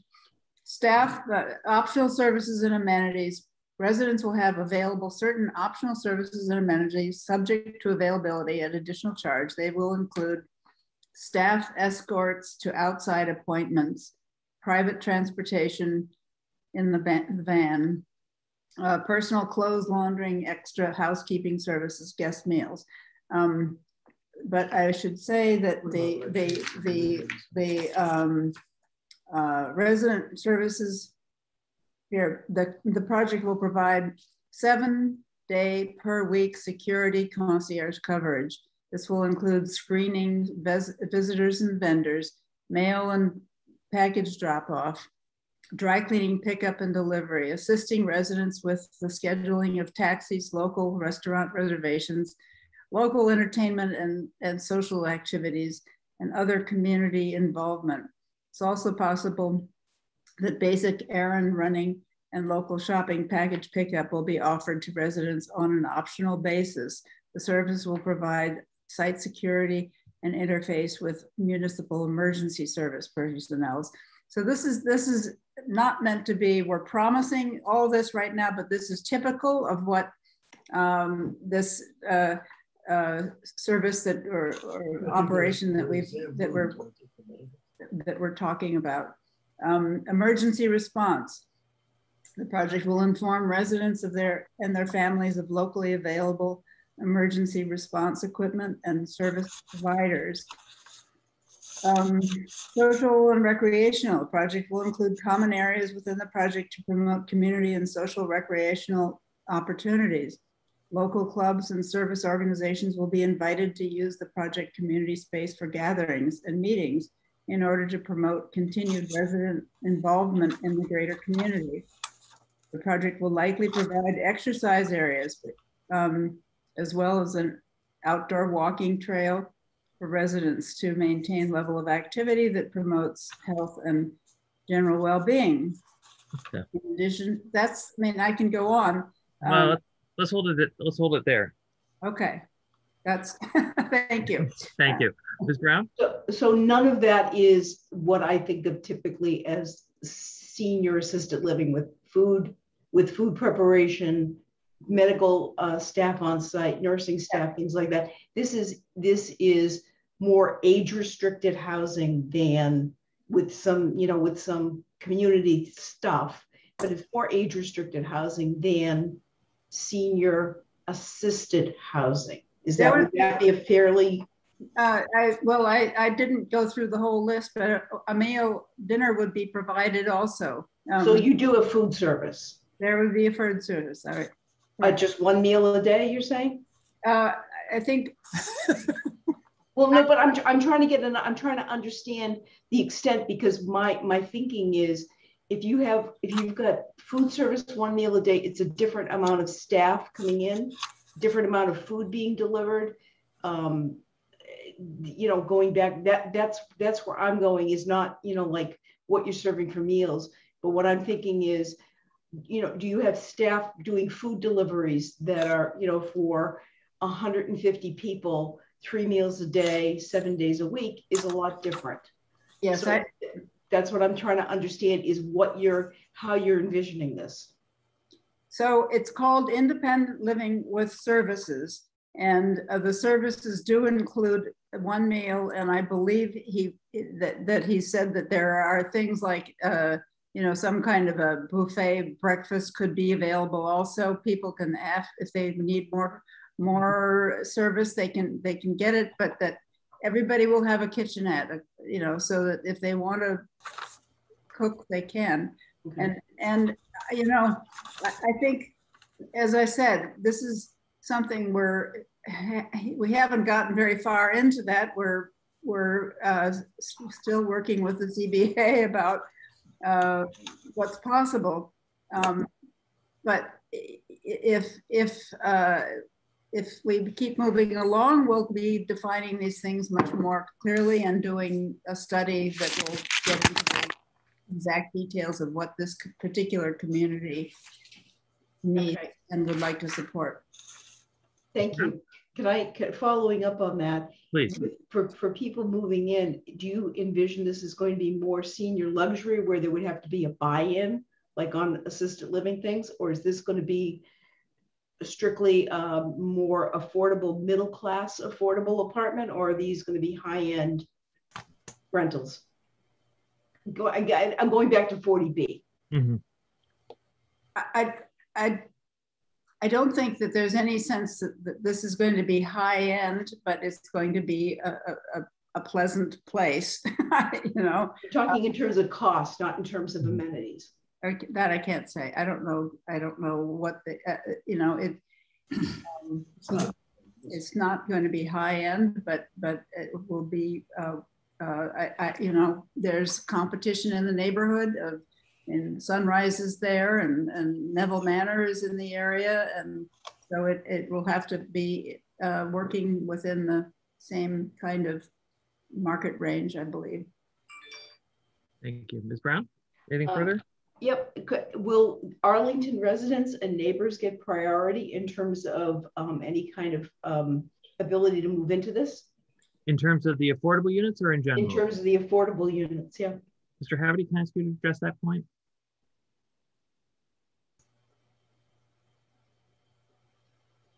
Sorry, Mr. Chairman, what was that again? So the, the, the, the question was raised about the affordable units and whether they can be, whether there are certain set asides for Arlington residents. So the town can have up to 70% uh, local restriction um, but that is, that's a not to exceed number. That doesn't mean you're guaranteed to be allowed to have that level of a local preference. And it's something that has to be approved by the subsidizing agency.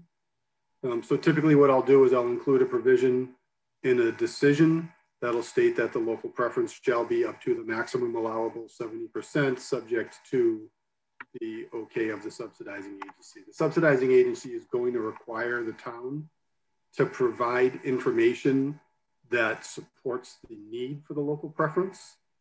Um, and I'm sure, you know, that Arlington will have you know, a substantial amount of information that will help to um, support that.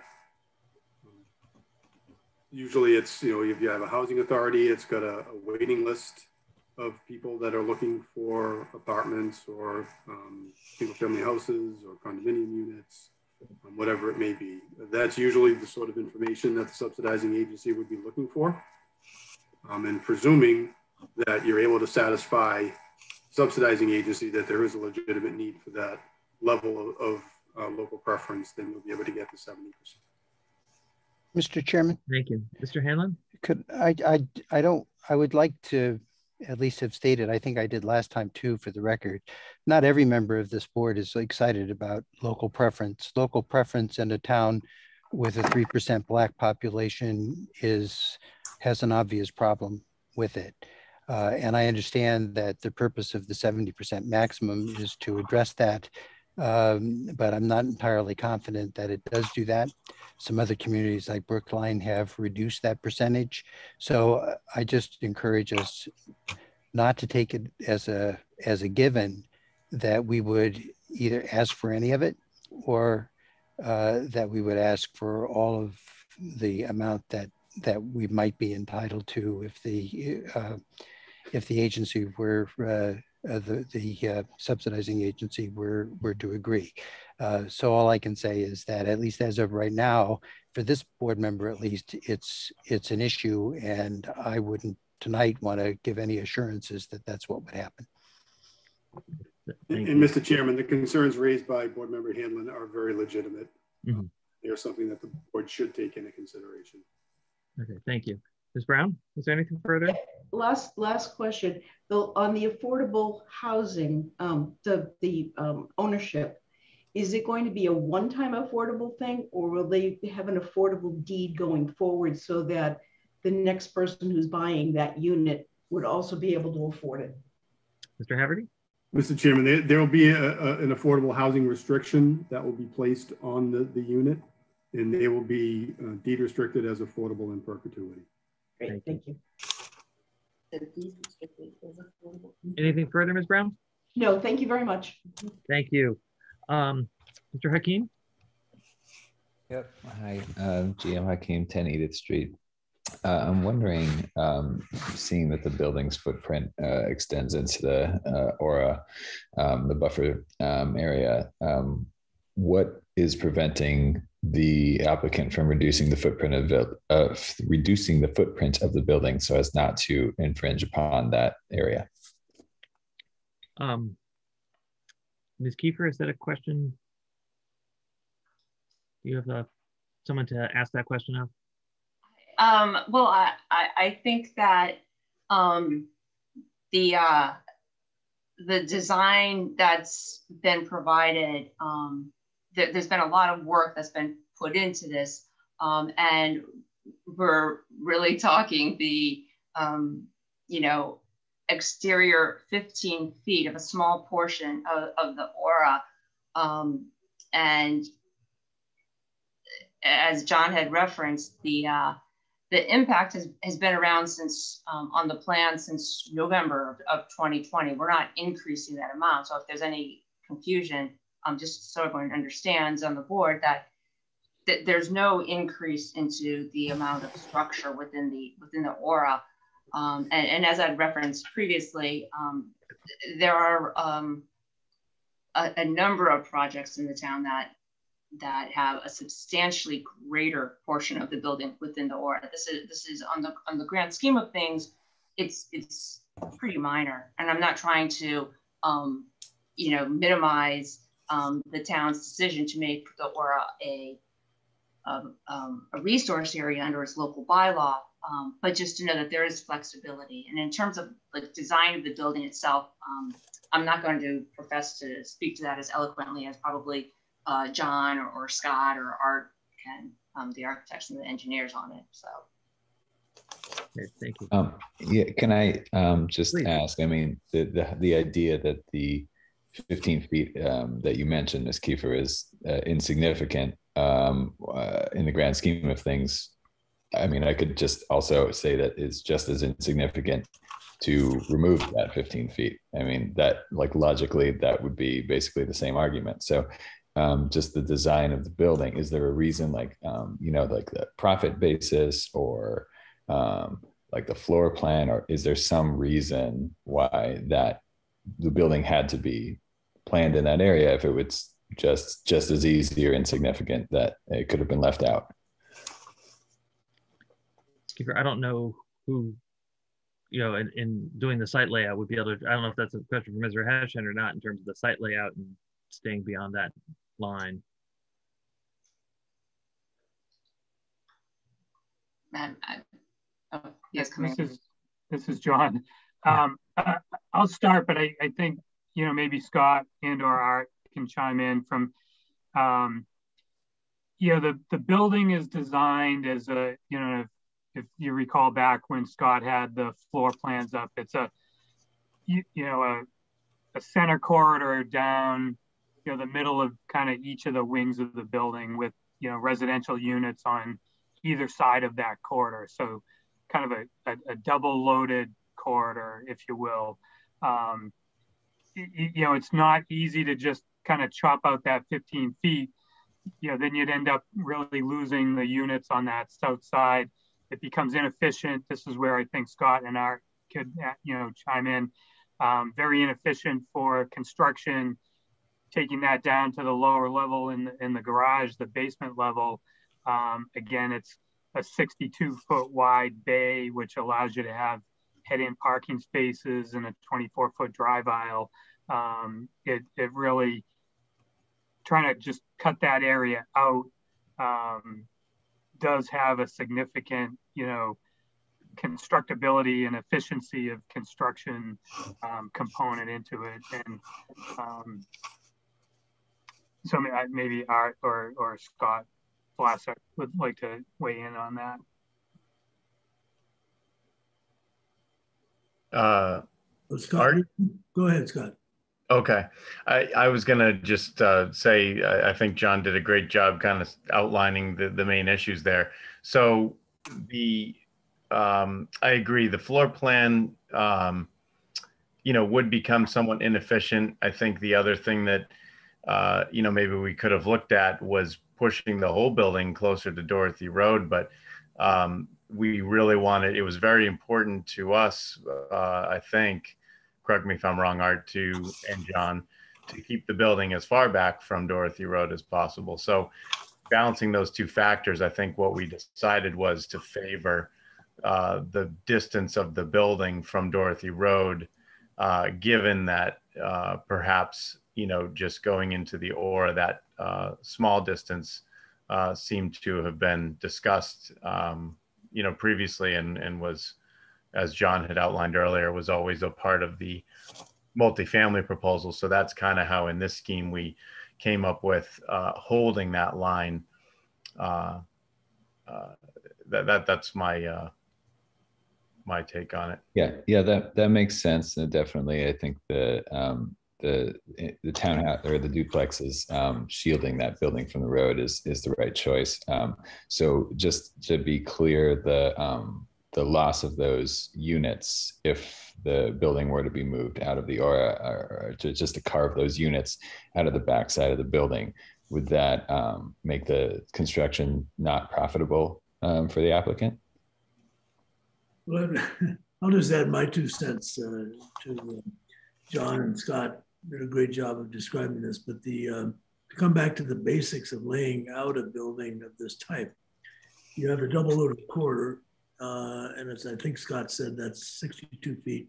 Parking bands are about the same, and they they actually fortunately fit together, so you can have parking uh, below a standard building layout. And I think what you're suggesting is maybe you could take out one side of the parking or one side of the corridor, and that would you, you, that couldn't be done, not, not to make any kind of uh, financially viable building. You, you'd have kind of half a building.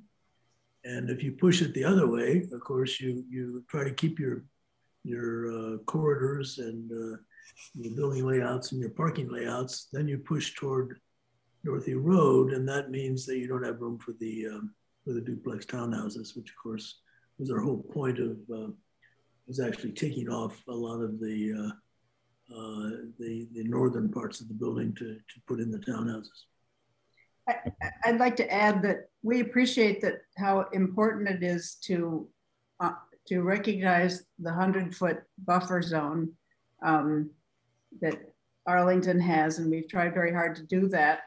Um, it is uh, uh, not unusual for the, there's a really, uh, in the bigger scheme of things, it's a, it's a sliver of land that has, that is, uh, has been uh, carved off. And um, as Ms. Kiefer has said earlier in this hearing, um, a, a, recent project uh, had considerably more area carved off and, and we, it is our intention to do a lot of landscape restoration, uh, woodland restoration and this, over years uh, in this project. And it seems like in the larger scheme of things, the 200 and some square feet that are involved is really um, not a, not a, a, very significant incursion. And maybe, maybe Ms. Kiefer could, could repeat uh, her investigation as to uh, the, the um, extent to which it's been recently uh, a similar, but I think, I think we, we, get the, we get the understanding of it. Okay. Um, yeah. All right. Thank you for your answer to the question. I, I, uh, I, I understand um, the points made. Some of them are logical. I, I don't think that well another project did it so we can do it too is a good justification um, some of the other reasons given do, do seem more justified um, not that one uh, but i appreciate your detailed answer anything further no sir all right thank you um Ms. Gibson?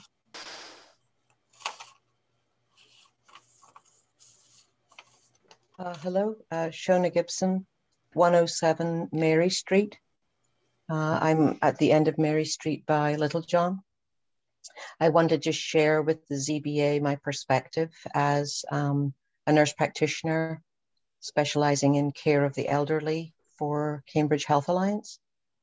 Uh, I spend um, a lot of my week going in and out of assisted livings and independent living buildings.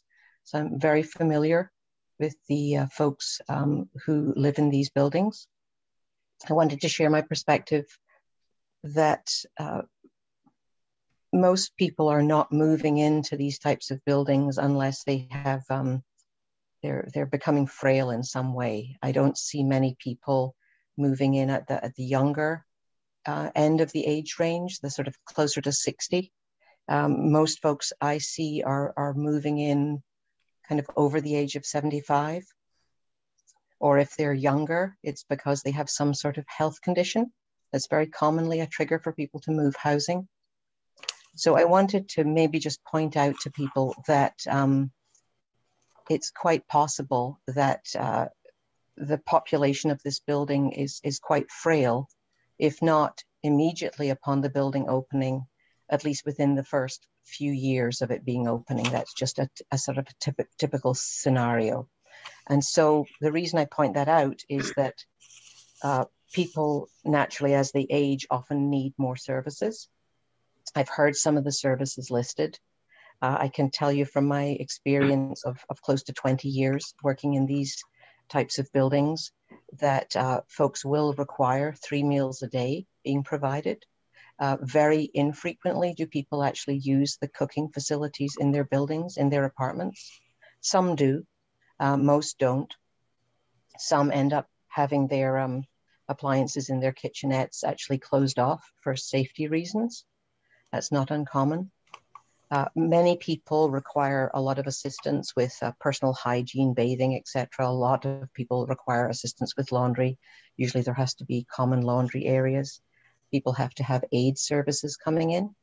Um, some of these services I've heard will be provided by the building. I know in the independent um, building, sort of that is called a, a independent living with services. Um, that is, um, I found to be a little bit of a notional difference between assisted living and independent living. I think it often is is intended to attract a different type of clientele, but people kind of age in place and end up needing more services than the building might provide. Then those services end up being brought in by vendors. I just want to point out that that um, it, it does create a, a constant flow of traffic, perhaps not high volume traffic, but a constant flow of traffic all day long. Um, home health aides, uh, people getting rides to and from doctor's appointments or others' appointments, certainly family members. And um, lastly, I think the last thing I would just mention is also quite a significant volume of emergency service visits. Um, people fall, people have medical emergencies. For one reason or another, emergency services are called. They often arrive at the building with blue lights flashing. The police come first or the fire comes first. Eventually the ambulance gets there and the situation gets taken care of. I just want to point out that this happens either day or night. We're tucked in a little corner here um, with no um, direct access onto a major, um, major street. So all these, uh, all these um, cars and vans and emergency service vehicles obviously will be coming through the neighborhood um, I think that's just another reason to reconsider uh, whether a building of this size and scope uh, should be placed in this location. Uh, thanks very much. Thank you. Appreciate that. Um, there are three names uh, on the on the list, um, and all of them have spoken before. So I'm just trying to figure out if you're have a second comment, which I would ask you to, to limit your time on, or if you just left your hand up by accident. Um, so I will start with, with Mr. Ide. Yes, thank you, Mr. Chairman. I have a, just a quick follow-up. So I mentioned the WB 67 and how it, uh, that trailer would get around from uh, Lake to Littlejohn, and it was mentioned that that has been posted. Could you please tell me where I would find that, what the name of the document is, and what date it was posted with, please? Great question. Um, Mr. Thornton, can you go ahead and forward that that comparison to me? I can't recall if it was specifically something that you had submitted to be posted or if it was just something you displayed during a meeting. Yeah, that that is a great question. I will I will look for that document. Um, I believe we sent it to the town as um, a response to BETA's comments. I'm just not sure which uh, which set of comments it was included in, but I will I will look for that and send that to you. Okay. Did we discuss that at the at the previous hearing? It wasn't the previous one. It was probably maybe the one before that, or or even two before that. Okay. And so the reason I brought up is my recollection was at the last hearing uh, on May 27th, um, it was mentioned that I think it was still an, an open issue that. So thank you very much, Mr. Chair. Thank you. It may be a, it may be attached to as to the agenda for May 1st. I'm just trying to recall off the top of my head. Mr. Chairman. Mr. Hanlon. Um, as long as Mr. Ide is up, he had mentioned in going through a list of of issues uh, that he was laying out a question about how it's consistent to say that this is really just a lake and the groundwater doesn't move. But at the same time, everybody knows there's lots of flooding that is going on and the water is coming from somewhere. And I imagine that there are probably a lot of people who have that question. And I wonder if, as long as we're here, somebody could, uh, uh, Mr. Donovan or Mr. Hession or whoever, uh, could explain why it is that that makes sense. Mr. Donovan? Uh, sure. You know, it's very, it's hard for me to comment on people's individual houses and what might be happening there. But, you know, a lot of this from my experience is uh, it's rainwater, it's the depth of people's basements, and it's the design of the slab and the material underlying the slab in these basements. And if they have a sump set up, how that is set up, how deep it is, how well it's connected to uh, drainage materials underneath the slab and around the building. Uh, I've been doing this for 40 years. I've looked at a lot of people's, you know, basement drainage issues, and all of these factors come into it. Um, and one of the most common ones is rainwater coming down next to people's houses. Um, that seems to be one of the most influential factors. Uh, yes, groundwater can be a factor, but rainwater, when you see water coming into your basement pretty soon after a storm, more than likely it's a result of rainwater than groundwater. When water falls on the ground, it takes uh, some time before it reaches the groundwater table. It's not immediate. Um, it's not even the next day. It may be a week later before it actually gets to the groundwater table and affects uh, raising the groundwater table as a result of rainfall. So I, I, I, can't tell you why these people are having particular issues at their houses, but we've the way we've designed these particular buildings is to be above the groundwater table and to be waterproofed such that water isn't coming into these buildings. Mr. Chairman, I wonder if Mr. Sh Mr. Hession's also been living with this issue now for about a year, and I wonder if he has anything to add to that. Sure, Mr. Hession.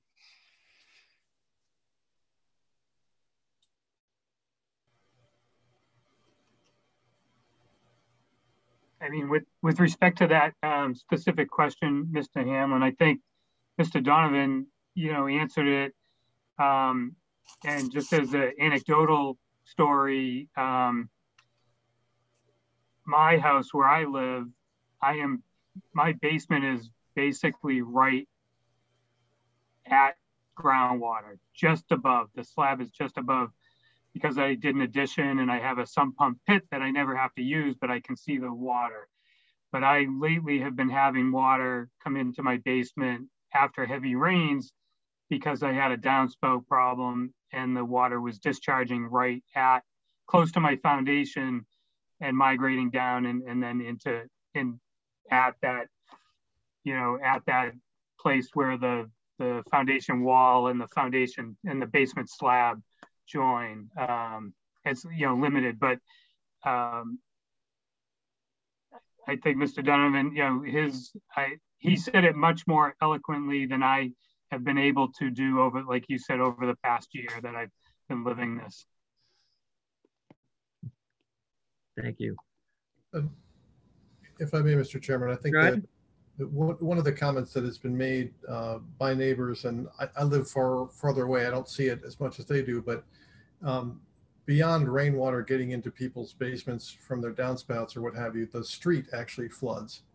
Um, you know, so there, there is water that comes up and lays on top of the space on the side of Dorothy Road. So I, I don't want to get into it too far, but, but thank you, Mr. Hanlon, for bringing that up. It's a, a great question. I really appreciate you digging into it. Thank you. Thank you. Um, uh, Ms. Keith Lucas, I wasn't sure if you had a second comment or if your hand was just up. Thank you, Chairman Klein. I do have a second comment, if I may. Uh, Heather Keith Lucas of 10 Mott Street. Mr. Ide previously brought up the concern about maintenance on the property. I'd also like to address the safety on the property. The town of Arlington and surrounding towns has spent significant resources, uh, both financial, personnel, volunteer hours from the community to support the homeless people who reside on the applicant's property. This is a complex public health problem. It's a community problem that requires sensitive and thoughtful, humane approach and the applicant has made a financial proposal that ties converting a portion of their property to conservation while also using the 40B to build a financially lucrative business for their client. Converting a portion of the land to conservation and building on the remainder does not address the needs of the people who are homeless that have lived here for so long on the applicant's property and there is um, heroin use, there have been fires, there have been explosions. Residents for a long time have expressed a growing concern regarding a situation where someone would get hurt. And I want to make sure the applicant is aware of the recent alleged assault that was made on our own Officer Kniff last week. Officer Kniff allegedly had a weapon drawn upon him, and due to his excellent training, he was able to de escalate this situation. Commendable police work. Later in that situation, multiple rifles were found during a search of the area. So I want to make sure the, again, the applicant is aware of these ongoing and escalating safety concerns. From Mr. Haverty's prior comments, I understand that contingencies such as maintenance, and I imagine and hope that would also expand to safety uh, contingencies, are dependent upon the applicant not appealing such conditions irrespective of whether the ZBA approves the build in, in any particular way, I implore the applicant to engage in ensuring the safety and security of the neighborhood and residents, to, to truly engage in good faith discussions about the safety and maintenance, um, and to consider, have the ZBA consider conditions in collaboration with the applicant to reasonably address the safety of the neighborhood, both current residents that include those people who are homeless and living on the applicant's property, as well as our potential future neighbors as well.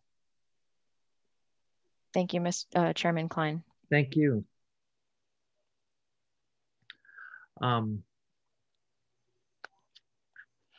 Mr. Moore, I wasn't sure if you had an additional comment or if your hand was just still up. Um, Mr. Mr. Chairman, I'm sorry, I don't know how to on the telephone put my hand down, so my my bad. Thank you. No, no, I admit I haven't the faintest idea how you would do it either. So, well, let me try it. I've done it, gone ahead and done it for you. Um. Uh, oh no, I'm sorry. That didn't. I got Never it. mind. I got it for Thank you. Uh, Mr. Gianolio. Hi, yes, uh, Mr. Chairman, can you hear me? I can, sir. Yes, I'm Diego Gianolio. I live at 85 Dorothy Road. So on Dorothy Road, close to the uh, Littlejohn intersection, facing the uh, area where the project is um, supposed to be built. So I heard the conversation about the uh, water table and the sump pumps. So yeah, I just want to share my experience about my basement. The floor of my basement is less than four feet below Dorothy Road. And so there's something I experienced when it rains. Uh, it doesn't so it doesn't necessarily relate to the uh, uh, rain, but even a few days later, the uh, sump pumps keep working nonstop. So I think this is uh, speaks to the um, underground water table that we were uh, mentioning before. So just sharing my experience, that's what happens. Uh, I live uphill from this project. And again, my basement is less than four feet. And uh, I do experience uh, the sump pumps working for days on a row. Not necessarily right after it rains, but you know, it keeps going for several days. So I just want to make sure that my experience is shared as a perspective of this project. Thank you. Thank you. Let me just ask the applicant to keep that in mind as well. Um, so at this point,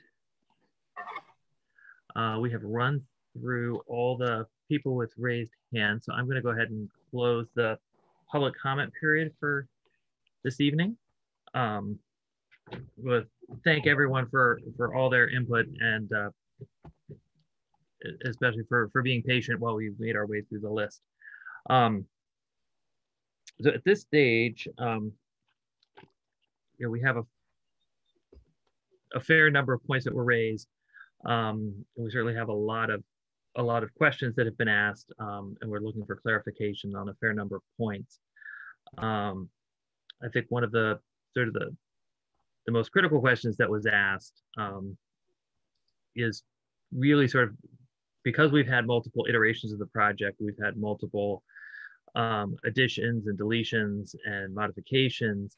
Um, it is, there are some aspects of the project that's a little unclear as to exactly what is being proposed um, and what is being requested um, of the board. And so I think um, the it would be certainly very helpful to the board and to the you know to the town in general if we could um, sort of have a a revision to the plans that is a little bit more sort of definitive as to exactly what is being proposed and to link that with um, specifically with with a, a proposed set of conditions so we can sort of better evaluate what exactly is before us at this stage.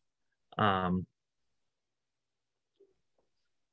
and then that's something that we can ask to have uh, yeah we can ask BETA to take a look at um, the current proposal that came in, I have forwarded a copy or forwarded a request to review the documentations, uh, both to um, the fire chief and to uh, the director of um, Health and Human Services to review. And so I, I am waiting.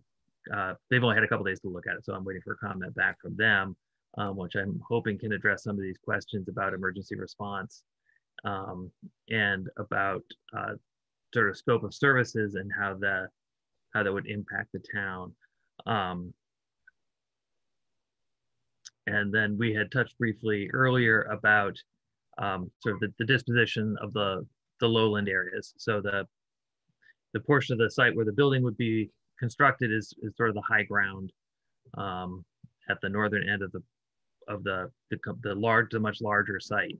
And the the disposition of that remaining portion, um, there is an ongoing effort between the town and the board and the the applicant to come up with um, an agreement that um, that can be put forward, and so that would be tied to conditions on the um, on the project itself, and then going back to conditions, um, you know the obviously the draft decision that we had had started on earlier, uh, we sort of need to to scrub and start again in a lot of ways.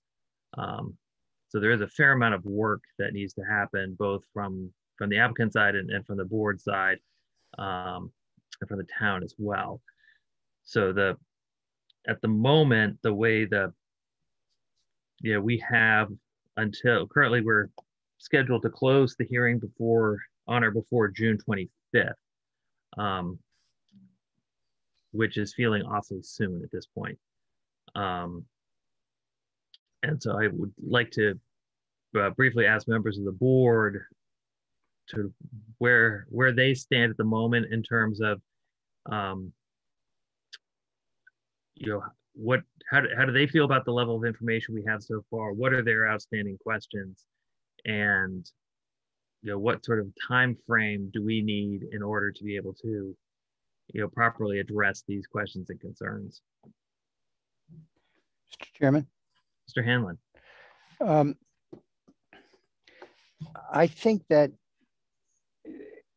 we need to we need to slow down a bit um, I, I understand we've so far we've basically extended the hearings um, meeting by meeting with the extension of the closing date, which always being sometimes as little as a day after when we have the hearing. But at this point, I think that we are really close. We, the general the general outline of what will be the proposal is now before us. Um, today, there were a bunch of questions that came up. BETA has looked at, but has not really had an opportunity to give us advice as to what we, the issues we should be concerned about are with respect to both wetlands and flooding and that sort of thing, and also with respect to traffic. So we have a very general idea, but we're now at the point where we need to make a decision. We need to think about coming to conditions and so forth. And we really can't, I mean, I can sit here and and sort of repeat the things that came through my head during the course of today's hearing. but that's really doesn't substitute from having our peer review engineers looking at all of this and telling us what the questions are and what possible answers are and getting clarification and so forth. So I don't think we're at square one. Actually, I think that we're very far along and we have a good framework that we have to work with. Um, but I think that we need to proceed in a methodical way, uh, starting with a restated application that enables us to say, well, this is what the proposal is. This is what's in it. This is what isn't in it. Uh, and this is what might be in it, depending upon uh, further discussions between the board uh, and the applicant. Um, I also think that it would be helpful going forward when we get to the point where we can actually are getting to conditions in sort of our, our second effort to, to put together a draft decision. Um, one of the problems that we had before was that we were doing this kind of in real time with a deadline looming over our heads.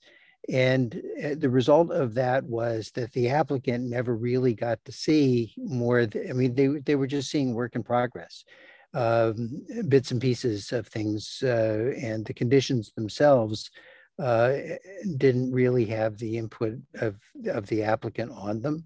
Uh, and I would like to make sure that when we get into the point where we're actually having conditions, that we understand where there's a disagreement on the part of the applicant and we can get those things resolved before the hearing closes because once the hearing closes and we're down to just writing the decision, we can only guess about what the applicant's reaction is, and we're not in a position of accommodating what might be completely uh, reasonable concerns.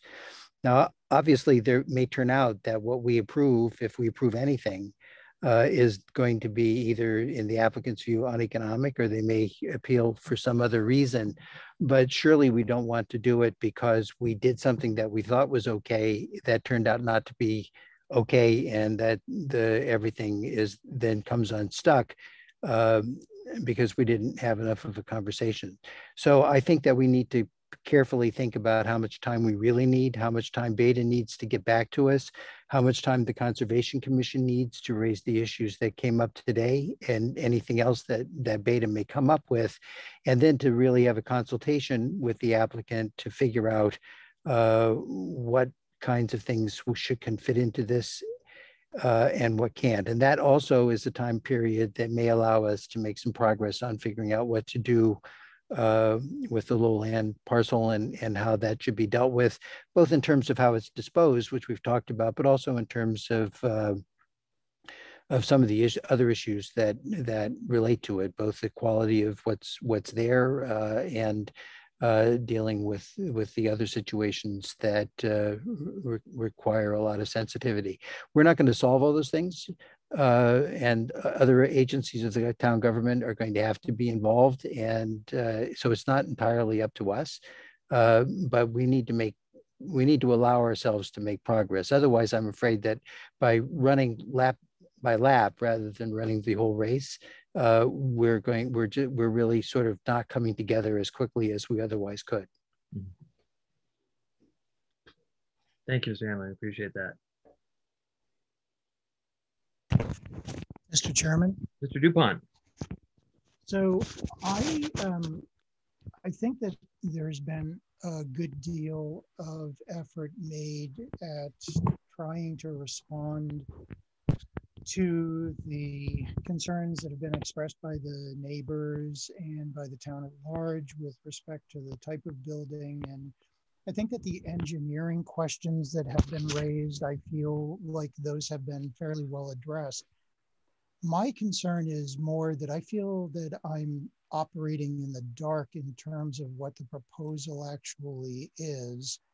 And I'm a bit disconcerted at the lack of specificity. And I understand that when uh, we came to this where it was being introduced as independent living and assisted living together, um, and I believe it was Ms. Kiefer who rightfully so said, well, you know, what were your thoughts uh, addressing the board? What were the thoughts and feelings that the board might have with regard to this type of a proposal? And I think that our response was generally speaking fairly positive. But as I sit here tonight and it's been moved from the assisted and independent living um, combination to the independent living with services, I paid very strict uh, attention to what Miss Gibson had to say because of her experience dealing with elderly populations. And I realized that, you know, this is, as I think she indicated, you start out with a certain population in a certain condition, and then that can change pretty quickly over time. And, and I think that, you know, when the question was put to Miss Noyes, she made a reference and said he says, and I believe she was referring to an expert that they have employed. But what I am looking for is some much greater detail, much greater specificity, and a commitment to a specific plan which can tell us more about well how many people do you envision are going to be employed there providing meals and how many deliveries do you expect to have per day? And how many people as they move sort of on that spectrum from being independent to more like uh, needing assisted help how many people do you anticipate are going to be coming in to deal with those issues? Because i think what miss gibson was describing is that you have a population which has in fact uh, moved from independent to assisted living, but not with the help of the necessarily with the help of the uh, owners of the property because they're sort of doing it on their own. So I really have very little feel for what it is that's being proposed. And I think the suggestion is made by the applicant that we're the ones who should be supplying them with more direction as to what it is that we want to see them do. And I look at it conversely. I want to see them come to us and say, you know, here's what our expert says. This is what we can expect to happen to a population of people between 80 and 90. Here's where we think that, you know, they're going to cross over the boundary from independent to assisted living. And as a result, this is what we expect to see in terms of the numbers of people who are going to have to show up and attend to these people over time. I mean, that's the information I want to have because that impacts all of these suppositions that are being made about whether parking is adequate, how many people there are going to be coming and going on a daily basis. And the point was also made about the numbers of trips of emergency vehicles that are going to be coming into this area potentially at all hours of the day and night. So I would like to know in much more detail and with some greater level of commitment what that is supposed to look like based upon the representations of the expert who they believe you know that has a great deal of information to share which raises another point which is how do we then take information like that and how do we assess that information? Because at this point, we haven't had an opportunity to have someone who is uh, familiar with that type of um, you know project and that type of a population which begs the question about should we have our own expert looking at these sorts of findings that I'm requesting be shared with us uh, by the applicant. Thank you. Mr. Chairman, could I speak to that issue? Because I think I have something that could help be helpful. Please, Mr. Klipfel. Um, the person we've referred to tonight is, is our consultant or, uh, or, or, whatever. We, we have, uh, we know him, we know the organization very well, and we know the person very well. And um, I went back and looked at some of my notes, and we, he, he, he knows how many trucks arrive uh, for bread, for fish, for uh, he has a lot of information, and I, I'd like to bring him into this because I think you're making a very good point. I really appreciate your point, uh, Mr. DuPont. And uh, I, I, think that, um, you know, the ball is in our court to speak to this because it, it is an issue. I mean, you, the people there are sort of predictable, but it's all the services that come the trucks, the food, the medical services. Uh, and this, this, this group, it's, it's a company. It's a fairly large company, and they, they manage or own a number of facilities that you all know of in the area. So uh, he has facts and figures about all these things. And so this is this does not need to be a mystery. And I think I certainly wouldn't, you know, take away your your thought to hire your own person, but I think you need to see how credible uh, this person and this organization's information really is, because they manage so many highly respected uh, facilities of this type in the area. And we have worked with them over a period of 20 years. Uh, we've owned uh, as developers a facility with them uh, for a number of years. And uh, so this is this could be, I think, really speaks to the issues you just brought up, which I think are are quite legitimate. Well, thank you. I think that would be quite helpful. Mr. Chairman. Mr. Hanlon. Could I just one th other thing that I that just to add to Mr. DuPont's list is as I listened to Ms. Gibson and began thinking about what happens when people who start at roughly my age and get older and frailer. Um, and the underlying structure here is basically that a basic level of services, one meal a day, and and your rent is covered essentially within the scope of the of of your buying the apartment. But at least the business model that's been described uh, means that increasingly services that people may require necess- as necessities, uh, or at least of very value, very valuable things, um, soon get beyond doing the laundry into lots of other things as well. Um, and I would like to understand better the sort of the social position of the people who occupy the affordable units once so much of the cost of maintaining themselves in this uh, or maintaining oneself in a facility of this kind is coming from what you pay over and above your rent, which by hypothesis, many of these people would be hard put to afford. Uh, and you get the emergence of a potential discrimination, or not discrimination, but uh, just a sense of difference, uh, where the policy is supposed to be that people sort of blend right in, that that they're not isolated as the affordable people, but the ones who don't have aides um, may turn out to be the the ones occupying the affordable apartments. And I don't have a pre I don't really know enough about how this all works, um, but and I would love to have to have the opportunity to discuss this with with someone. But it is giving me some pause that that there's something about the underlying uh, supposition of 40B projects that seems to be slightly askew in the proposal, and I would like to understand a lot more about that.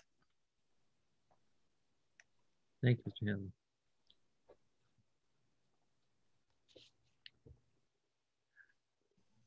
Are there further questions from the board at this point?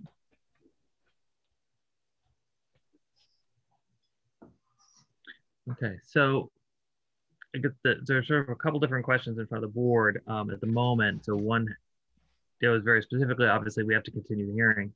Um, but to Mr. Hanlon's earlier point, you know, we can we can continue for two weeks, but then we are basically a day shy of the the closing period. So um, I guess, and you know, are we? I, I guess a, a, question for for Ms. Kiefer to, to discuss with her with her clients is, you know, what sort of a time frame do we do we really, you know, what sort of time frame really makes sense in order to you know be able to fully vet vet these questions to be able to um, to come to a much better sense of what what exactly the request is of the board um, and you know, enable the board to to to reach a decision that where the board is comfortable knowing um, both what the what the applicant's opinion is of the of, of a potential decision um, and knowing that the you know the board having a set of confidence as to what the outcome will be with the uh, what once a decision has been rendered as to whether you know whether the you know that that what we're agreeing to is what what is actually before us on the table. Um, if we're if we are um, going to be agreeing with an application. Um, and so at this point, you know, I think we would be, I don't know if we can, you know, specifically request at this, you know, this evening. I don't know if you guys would even have a sense as to what sort of a time frame would be appropriate. I'm not sure the board necessarily has a sense as to what sort of time frame would be appropriate. Um, but I think what I would propose um, this evening is if, you know, obviously we would request a continuance. Um, and then at that next hearing, I think we would, one of the first topics we want to discuss would be, you know, what is a realistic time frame to to fully vet, you know, all the outstanding questions on this on this new proposal, um, so that we can come to, you know, come to a, a more final agreement um, without, as you know, as Mr. Hanlon said, you know, sort of constantly kicking the kicking the can slightly down the road. Mr. Chairman, just as one additional thing, if, if we wanted to, one possibility might, and again, this is, depends upon, it's up to Ms. Kiefer and, and Gwen and Art and, and the applicant. Um, but it has been raised to talk to the consultant uh, that, that Art did. If that is doable in a hearing that has basically two per, per, two purposes. One is to deal with those issues and just to have that out. And if that can be done in two weeks, and the second purpose is to agree on a timeline, mm-hmm. um, that might provide a way of moving things along and giving us giving ourselves the opportunity to proceed in a more deliberate fashion. Does that sound amenable to to Ms. Kiefer and to Art and Gwen? Well, the one, uh, Stephanie, the uh, I, I, think what you're proposing uh, is that we we somehow bring the information that our that our consultant would have and bring him. Bring him, in. Yeah. so yes. we need to talk to him. So I, I think yeah. what we have to do before we set a time frame. He's a very busy fellow because oh, he's uh, so. Let us talk to him. Mm-hmm. I, I'm you know, 100% with you on this and uh, see what we can do to get him to come forward. And, uh, you know, I've grilled him on a lot of this stuff, you know, how many trips and who brings the fish and that kind of stuff. I know he knows all this stuff. Mm-hmm. Uh, I think you want to know it. So, uh, you know, we didn't bring that tonight. Yeah. Uh, so uh, let's see if we can get it here because I think it's important. Um, why don't you? I, I, don't know how you handle that, but I we can't guarantee anything until we talk to, uh, you know, our, our mysterious fellow that we haven't identified. Well, I think we can certainly um, continue, you know, continue to a date certain, and then determine specifically what the the topic will be um, as we get closer to that date. Um, but obviously, knowing that you know, this is what we would prefer to be able to discuss because this, I think, will get at a lot of the questions that are still out there in regards to parking and traffic and you know use of the site and the and those kinds of issues. Um, so the the two dates that I had sort of in mind. Um, so the board does have a hearing coming this upcoming Tuesday, um, but we could either look at either Tuesday, June 22nd or Thursday, June 24th. Um, you know, the, the board typically meets on Tuesdays, but we have for this hearing, we have slowly shifted to meeting on Thursdays. And I don't know if Tuesdays or Thursdays are better for um, for anyone. Why don't we go right to the 22nd and see if we can get Well, just pencil in the 22nd. Mr. Chairman, I'm not available either the 22nd or the 24th. Ah, okay. I am available on the 29th if you want to do it then. So I believe we have, so we have two other hearings on for the 29th as well.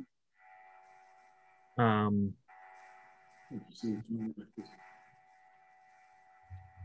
Mr. Chairman, if if it turns out that the hearing I mean, it's it's eleven thirty, and yep. but we've we've really dealt with practically everything tonight. If we have a delimited topic, which might actually just be timing if nothing mm-hmm. falls together. Uh, but if we had a hearing just on the issue of of how you what and what a uh, independent living with services means and and and that sort of thing, we might be able and we hold everything, including the comments uh, from the public, to that subject matter. Mm-hmm. We might be able to do that in in an hour, hour and a half, and still be able to handle the cases we already have for that night. Okay. Um, if that's the case, um, would it make sense? Do you think, Mr. Hanlon, to to start the hearing at 6:30 with this topic, and then move on to our the other two hearings thereafter? Well, it, it might enable us to go to bed earlier. Certainly, and I, I'm fairly I'm fairly certain. Um, and Rick, you can, Mr. Valarelli, I think you probably know this that the hearing notices have gone out for the June 29th hearing, correct? They, they have, Mr. Chairman. Okay, for 7:30? 7:30. Okay. There would be no issue there if we were to put this in for 6:30 on the same evening. No, we can do that. I, I believe one of the cases on the 29th might take some time. Uh, the other one is um, not so time consuming, should be straightforward. Okay. Well, if it's June, we're talking June 29th. Okay. Let's, let's see if we can get bus. So would folks be amenable with 6.30 with 6:30 p.m. on the 29th of June? Uh, yeah, we we we can we can work with our schedule. We have we uh, if that's the, the, the best time, uh, what I, we we can rearrange. I think it's really an issue of uh, our the person that we'd like to bring in. So, Absolutely. Yep. So I, I, we will do our best to to do that, and then try to do that in the next couple of days. Okay. Okay.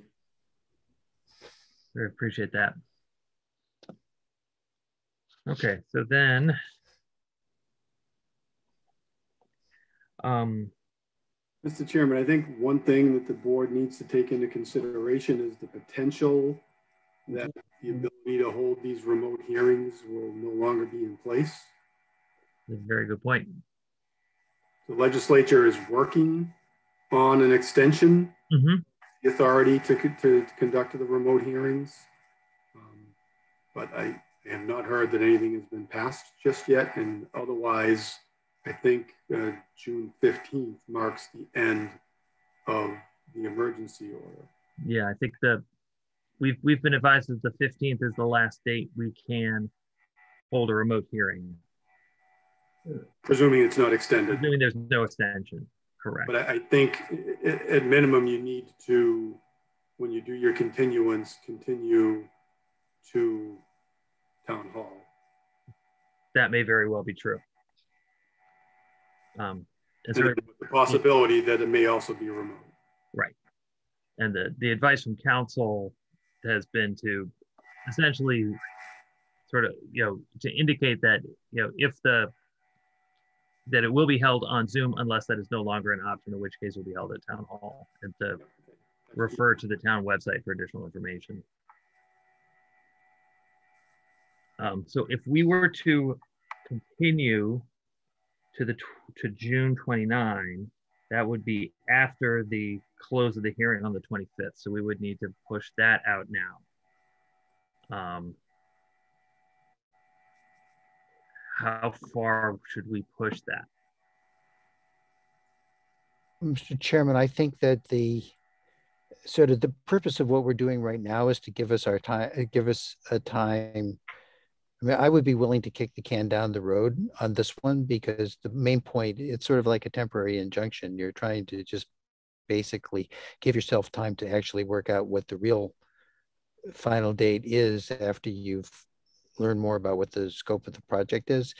So I'd, mm-hmm. I mean, I'd love to hear what Ms. Kiefer has to to say about wh where to do that, but I don't think that we necessarily have to to know that tonight. I think that what we need is to know on the 29th, if that's where we're going, mm -hmm. what we think the schedule is that brings this to a conclusion. So um, thank you, Mr. Hanlon. Um, I think that, I mean, there's been a, um, a, a, number of points that were raised this evening that we're very happy to um, give clarification or further address. Um, um, there was a, a, comment, I think, I think Mr. Hanlon, you may have said something about um, the applicant to submit a reapplication. I just want to clarify that there, it, it, it it was something you said along that line that I was like, no, it wouldn't be a reapplication. Um, but and I don't think that that's what you meant. Um, no, I don't recall that I that I said that, but I think that that the chairman, in, the chairman in starting it sort of was looking for some sort of a restatement. I think is maybe the word that he meant, so that we knew exactly what. So we knew what the application is as of now, given that there have been so many moving parts over time. I think that was the idea. Yes, and, and I think that's a very fair point. We're very happy to um, um, provide, you know, what what the proposal is, what it is not, in case there's um, concerns um, of, of, prior um, project proposals and, and how they play with this. Um, and, and to do that and to provide updates with respect to the specific questions that were asked for this evening and then the, the other component, obviously, is you, you want to have a little bit more detail um, as to what is senior living with services, what does that entail, and, and, and things like that. And, and um, Art and Gwen are, are, very much in favor of providing that for you. Um, and, and, and, another piece of this is obviously um, the, the timing of when BETA has an opportunity to review the updated traffic and that, because I think that um, everybody here, the board, the applicant, the community, um, we, have been at this hearing process for a very long time. And, and at some point we need to just say, let's, let's make certain we wrapped up all of the real loose ends. And, and you know, at, at some point you're not going to have 100% precision on every single thing, but it's going to be subject to a condition that, you know, that some, something is further provided within the final plans that are consistent with whatever. So, um, I'm giving you somewhat of a, of a long answer to your short question. I apologize for that. Uh, but my suggestion would be that um, with somewhat similar with your, you know, short-term kick the can, if we are back before the board on the 29th um, with the with the intention of um, kind of fleshing out better detail for the board, um, the, the limited scope being what is um, what are the various components of what does senior living with services mean?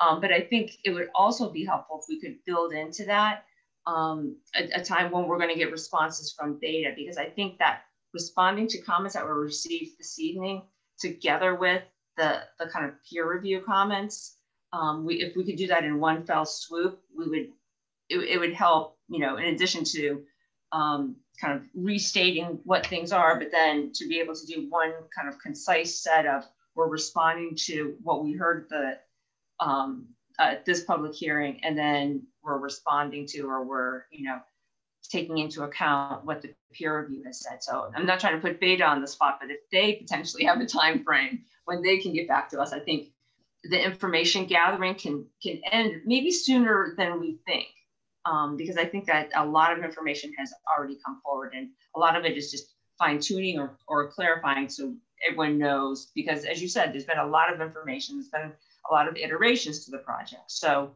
um, if we can kind of dovetail our, our efforts into, you know, something on in terms of the, the program of the senior living with residences and then responding to the additional questions and um, having an ability to absorb peer review and, and respond to it or, or to address their concerns or say, we agree with that, we would agree with that as a condition, you know, or, uh, oh, they haven't understood this, let us provide this bit of information that perhaps was missing. So um, with, with that said, I think that maybe if we just continue the date, the hearing date, um, which was the first question.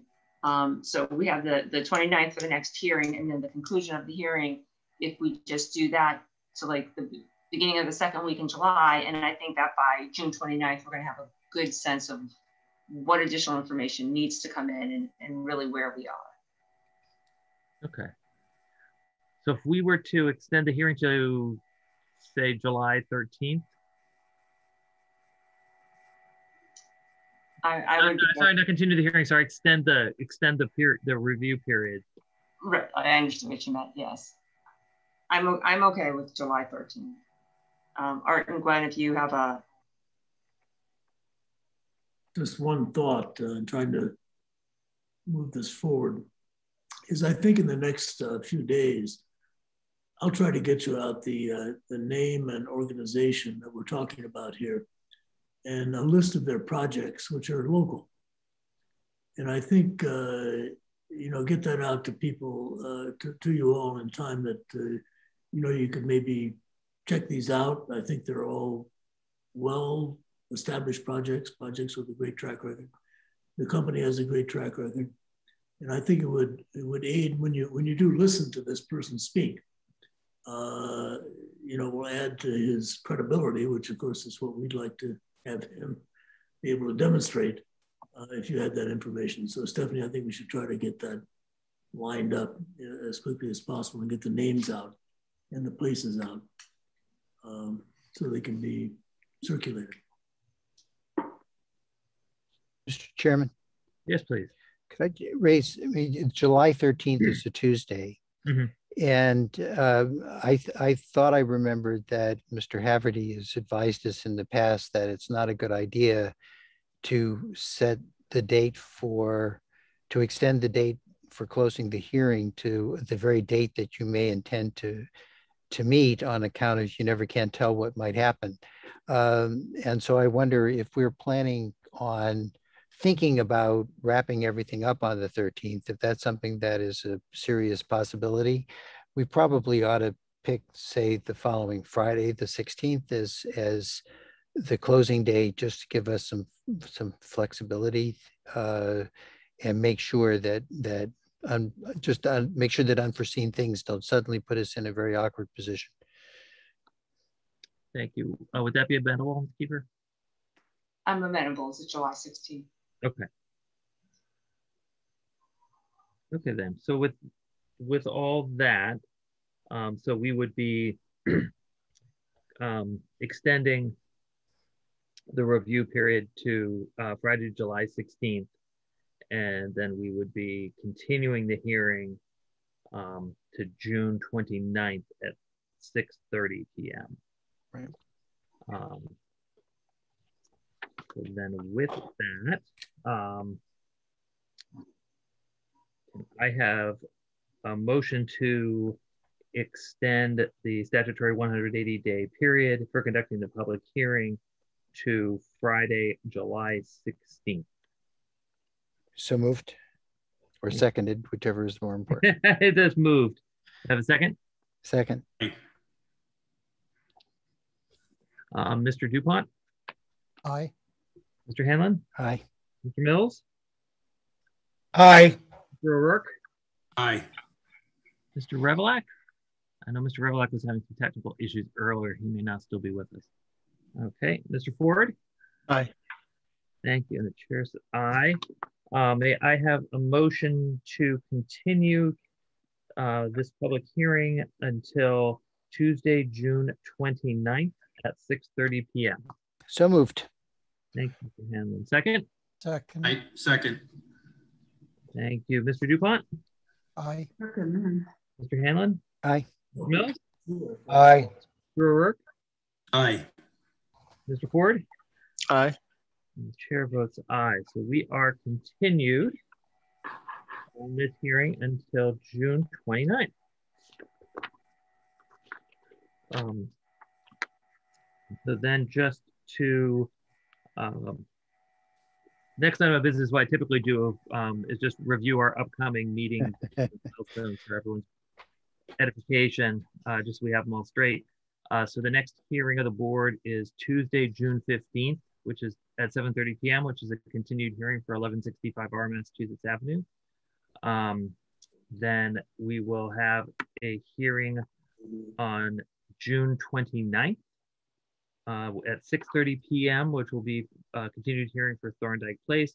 Will also be a first hearing for uh, projects at 10 Sunnyside and 55 Sutherland. Um, and then those are the hearings that we have currently scheduled. Then on Friday, July 2nd is the close of the public hearing on 1165 R Massachusetts Avenue. And Friday, July 16th will be the is now the scheduled close of hearing for Thorndike Place. Um, everyone has those dates, and those dates will um, be, should be up shortly on the Zoning Board of Appeals website and on our online calendar and agendas. So we are at the end of tonight's hearing. Um, thank you. Thanks to everyone for their participation in tonight's meeting of the Arlington Zoning Board of Appeals. Appreciate everyone's patience throughout the meeting. Especially wish to thank Rick Valarelli, Vincent Lee, Kelly Lynema, and all the others who um, constantly assist us in preparing for and hosting our, our online meetings. Uh, please note the purpose of the board's recording of the meeting is to ensure the creation of an accurate record of the proceedings. It's our understanding the recordings made by ACMI will be available on demand at acmi.tv within the coming days or weeks. Um, if anyone has comments or recommendations, please send them via email to zba at town.arlington.ma.us. That email address is also listed on the Zoning Board of Appeals website. And so to conclude tonight's meeting, I would like to ask for a motion to adjourn. So moved. Thank you, Mr. Hanlon. Do I have a second? Thank you, Mr. O'Rourke. Roll call vote, Mr. DuPont. Aye. Mr. Hanlon. Aye. Mills. Aye. Mr. O'Rourke. Aye. Mr. Ford. Aye. The chair votes aye. We are adjourned. Thank you, Mr. Chairman. Thank you. Thank Thank you, everyone. Thank you.